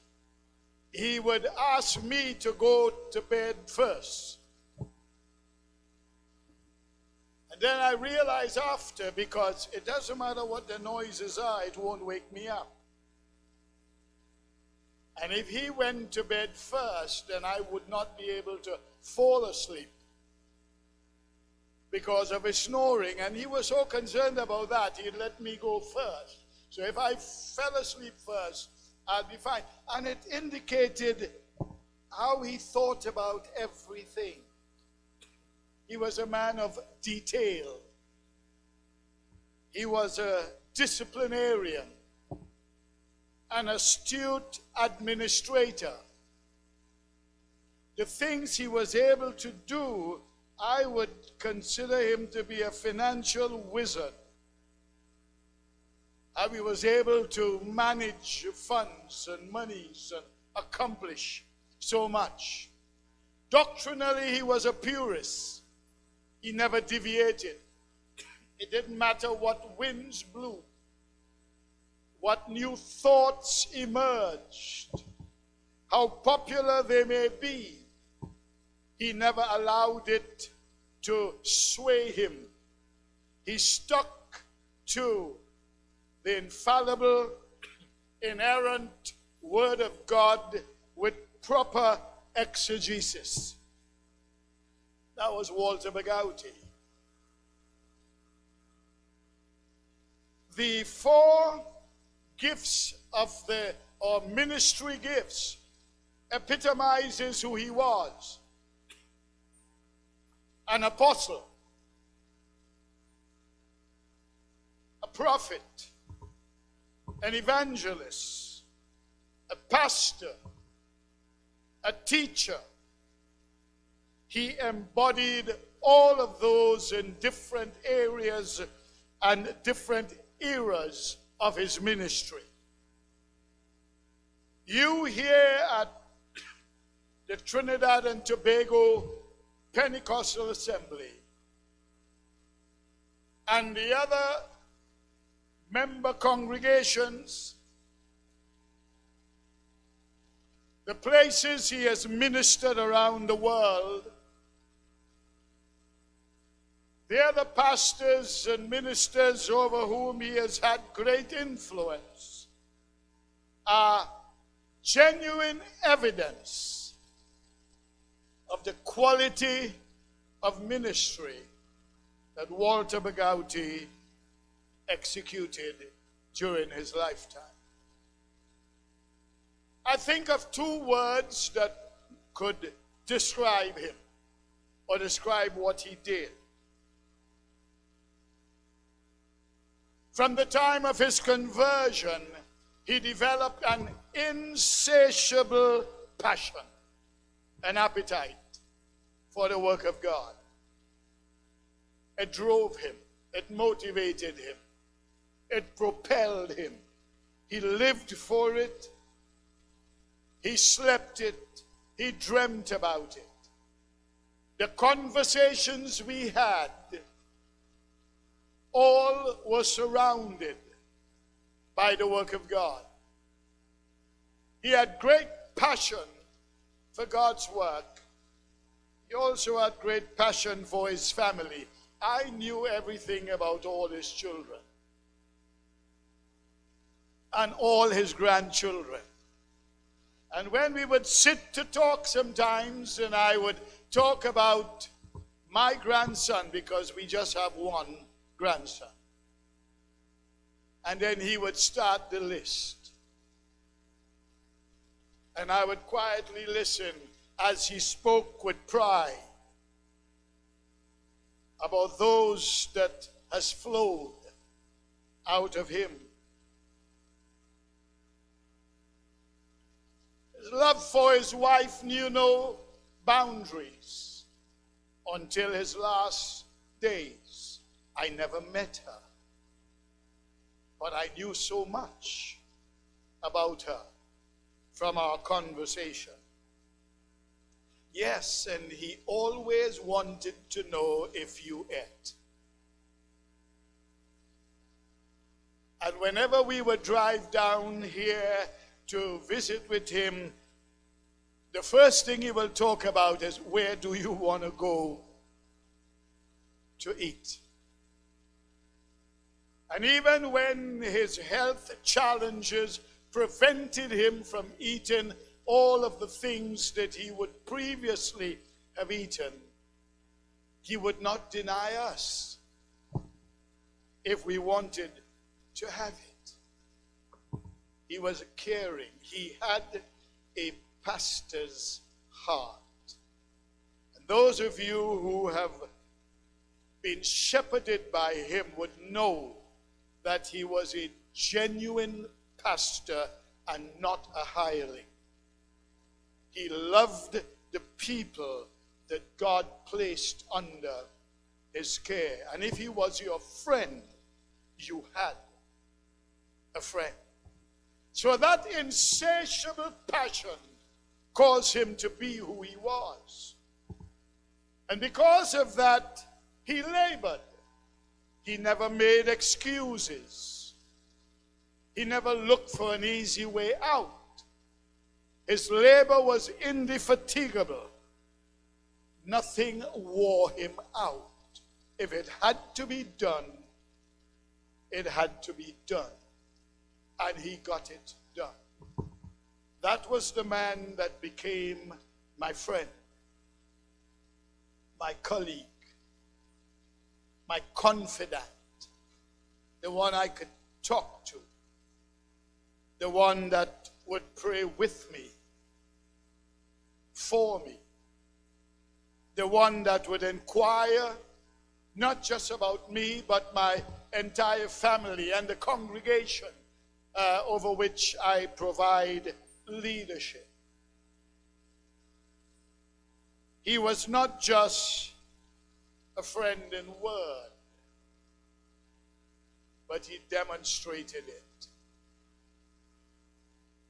I thought of him in, in 2018, and I was here when he handed over the mantle to Joel. And I felt that he was a wise man, reading the times, knowing when his assignment in that capacity was over. Knowing that God had raised up Joel. And he had watched him over the years, and I myself have watched Joel over the years as he matured and developed into the servant of God he is today. I had the honor and I questioned that honor when I was asked to perform the consecration service. When he, Walter Bhagoutie became a bishop.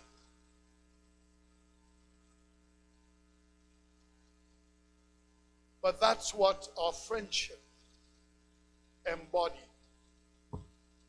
insatiable, indefatigable was what describes the passion and service of the man we celebrate today.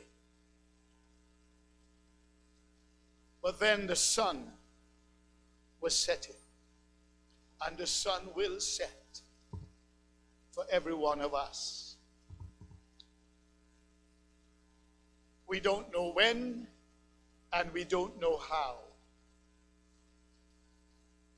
I have performed the funeral of all my brothers and sisters. I know the struggle of losing a loved one. I performed the funeral of my mother. I know the struggle of losing a parent. But I also know the hope and the expectation we have. The words of the Apostle Paul, for I would not have you to be ignorant, brethren, concerning those that are asleep. For the Lord himself shall descend with the trump of God and with the voice of the archangel, and the dead in Christ shall rise first. We who are alive and remain shall be caught up to meet the Lord in the air. When I heard of the passing of my friend Walter, I look through Scripture. I always look at Scripture to find some comfort. When my youngest sister died in 1990 at the age of 35, I too had lots of questions. But I looked at the Word of God, and the scripture that the Lord gave to me then was, and I quote in part, and the Lord removes the righteous because of the evil to come. He knows. He knows who to remove and when. and he knows why. But the scripture that I was led to, and I may I may be taking it out of its uh, its its its context, but I will pull the statement out. Mark chapter 4 and verse 35. And when the evening was come, he, Jesus, said to his disciple, Let us go over on the other side. Let's leave this side. Your journey on this side is over. Your assignment has been completed. Your purpose for which I empowered you has been executed. Your mission has been well served. Now, let's go over to the other side. You are finished this side. This has been the word of God to many of his servants over the years.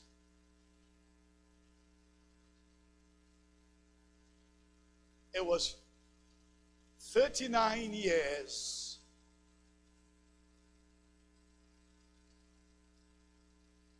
Eleven months and 20 days that Israel had journeyed in the wilderness. They were now on Mount Horeb, a stone's throw from Jordan, the crossing over point. God spoke to Moses and said, Moses, this was the last time God spoke to Moses. Because after that, he died.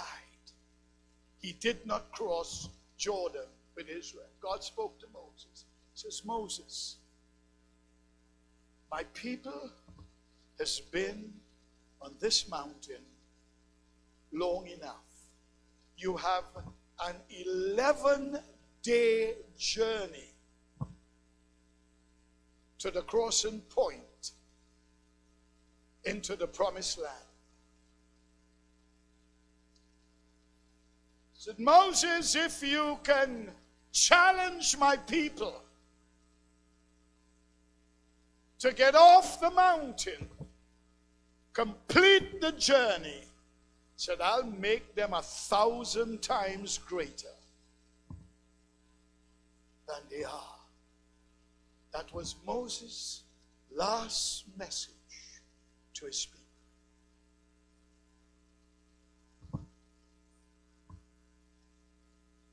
Walter Bhagoutie could speak to us this afternoon from the other side, where the Lord has taken him.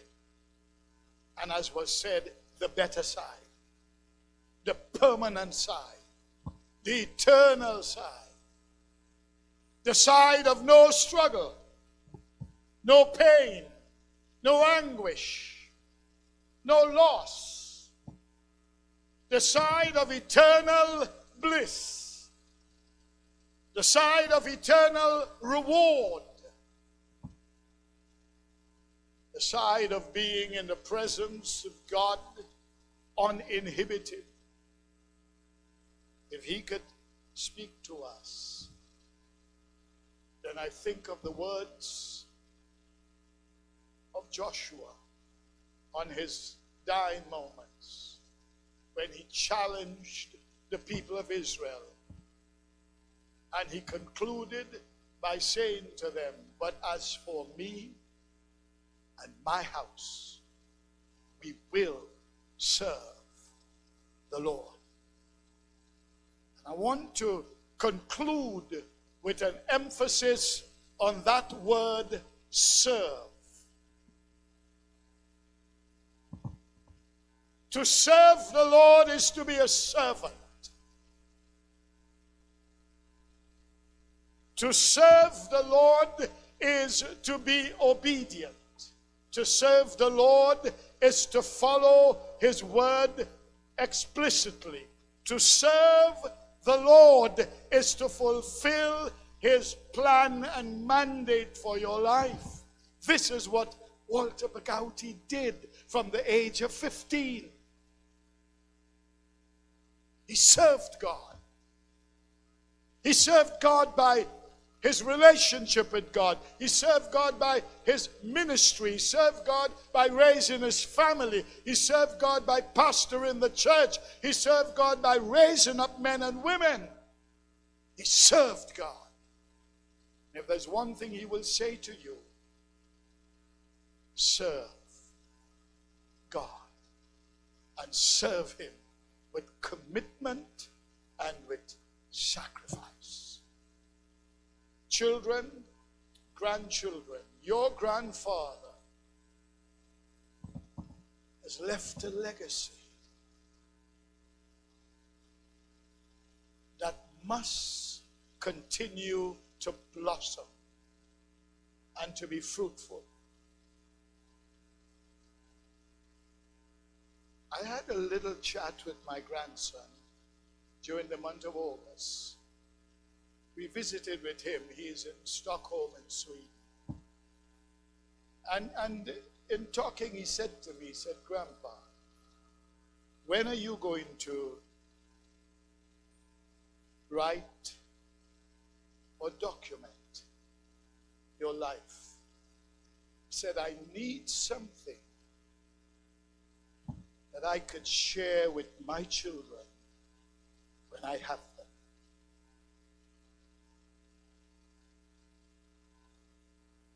Your grand, your father has left you something. And the grandchildren have had an opportunity to get some of that. Let it continue for the honor and for the glory of God. Finally, to the congregation of the Trinidad and Tobago Pentecostal Assembly, your founder, your bishop, your pastor, your spiritual father, your mentor, your friend, your comforter when you were in trouble, your guide when you needed help, has left you a legacy a legacy of faith in God. I believe he could also quote the words of the Apostle Paul to Timothy. And I close with it. He says, I fought a good fight. Now, a good fight does not mean no wounds, or no scars, or no bruises. A good fight means I'm still standing at the end of the day. I finished my course. Something was laid out in front of me, and I did what I had to do. I finished it. And in doing it, I've never lost confidence in God's ability to do what God has promised to do. I kept the faith. My friends, children, grandchildren, ladies and gentlemen, if you keep the faith, the faith will keep you. Stand with me, please. I want to pray before Pastor Joel comes. I want to pray a prayer of comfort, prayer of blessing. I generally do this, and I, I, will, I will ask if you can. The members of the immediate family, can you come stand around there? Just can't stand alone. Thank you very much.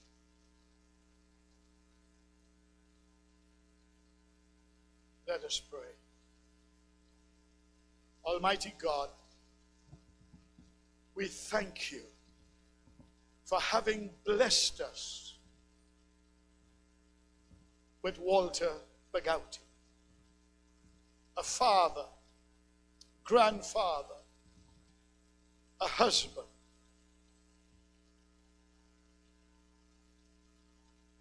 Shoulders that we have learned to lean on.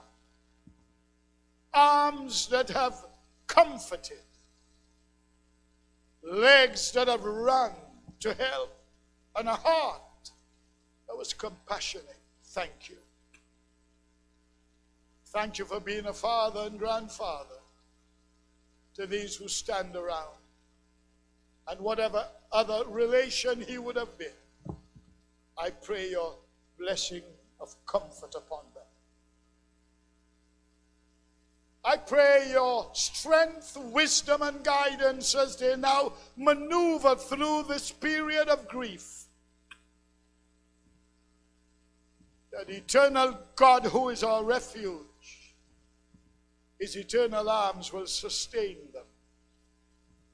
will give them the courage and the wisdom to move on and move on forward in the name of Jesus. Help that the deposits he has made into their lives will bear abundant harvest for your honor and for your glory. For the rest of the congregation and those listening in, may your blessings be upon them. Comfort those that mourn, strengthen those that are weak, lift up those that are struggling. Help us to realize that God, you do all things well. But Father, there might be some here in this congregation who do not know you as Lord and Savior and does not have the hope of eternal life with you. I pray that somewhere and somehow in this service they would have been convinced that I need to surrender my life to the Lord that I've come to hear about today. Help them, I pray, that they too would find salvation in Jesus Christ. I commit all into your hands and pray that the blessings of God that make it rich and that adds no sorrow will abide continually with everyone. In the name of our Lord Jesus Christ. Amen. Thank you. Pastor Joel. And as he comes to take it from here, let me just, on behalf of West End Christian Fellowship, the, the congregation that I pastor, on behalf of my family, and on my own behalf, extend our deepest thoughts, prayers, condolences towards every one of you, just to let you know that we're just a shout away. Whatever we can do to help in your journey ahead, we stand ready. God bless you.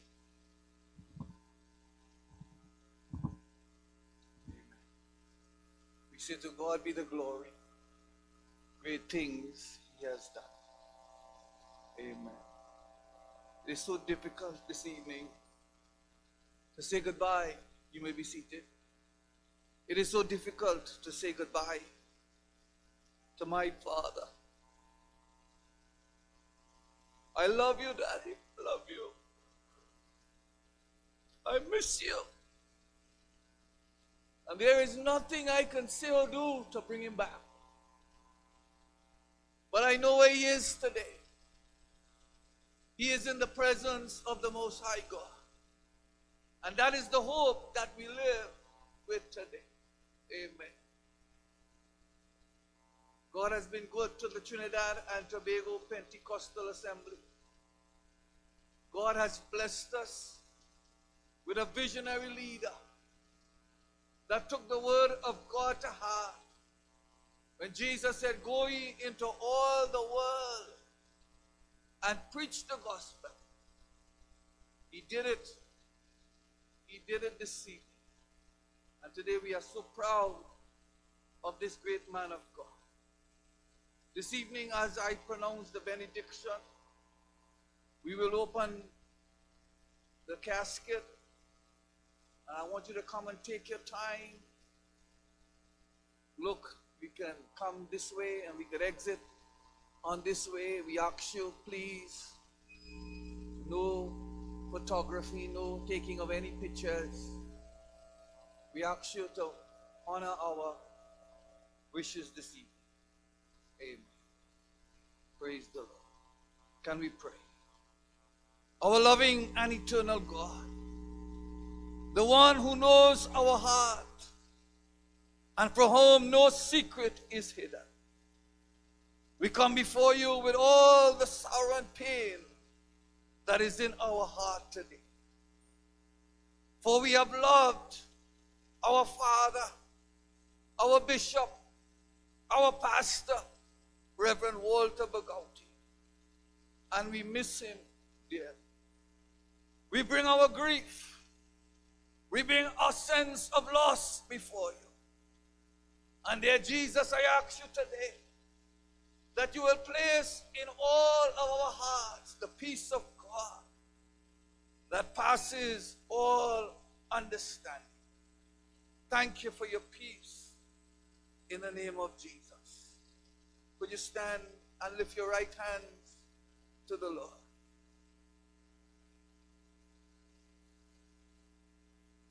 May the Lord bless and keep you. May the Lord make his face to shine upon you and be gracious unto you.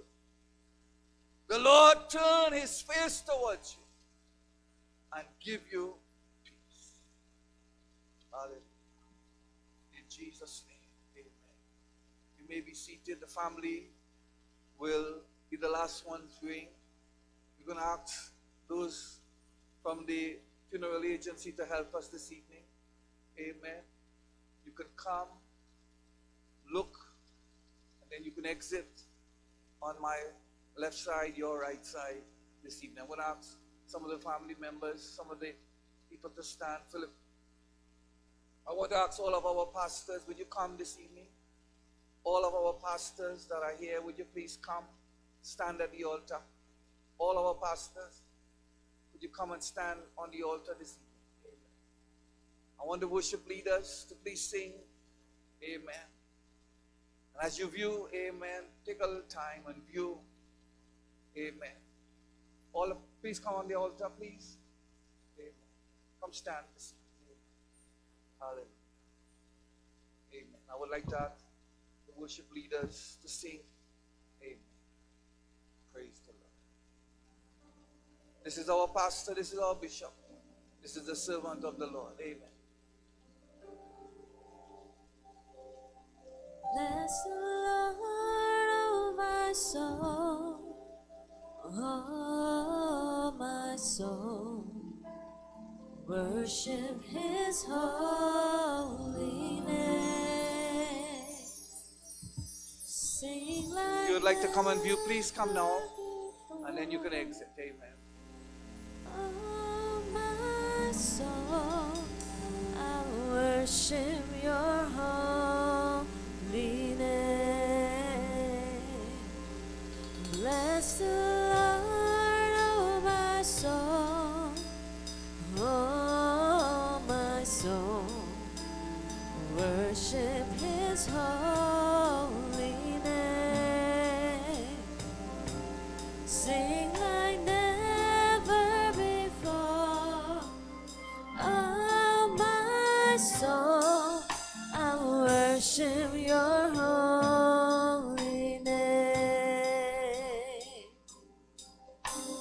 sun comes up, it's a new day dawning. It's time to sing your song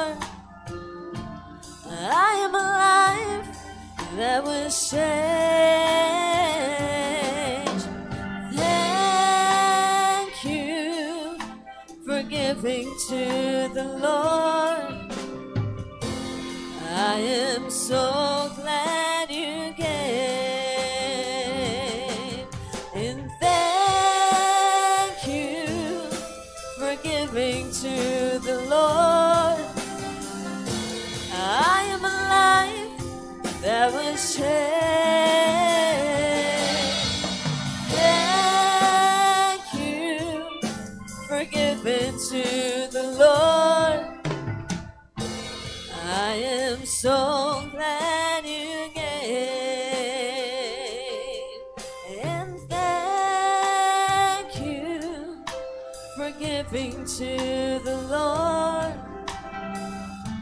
I am a life that was changed. Thank you for giving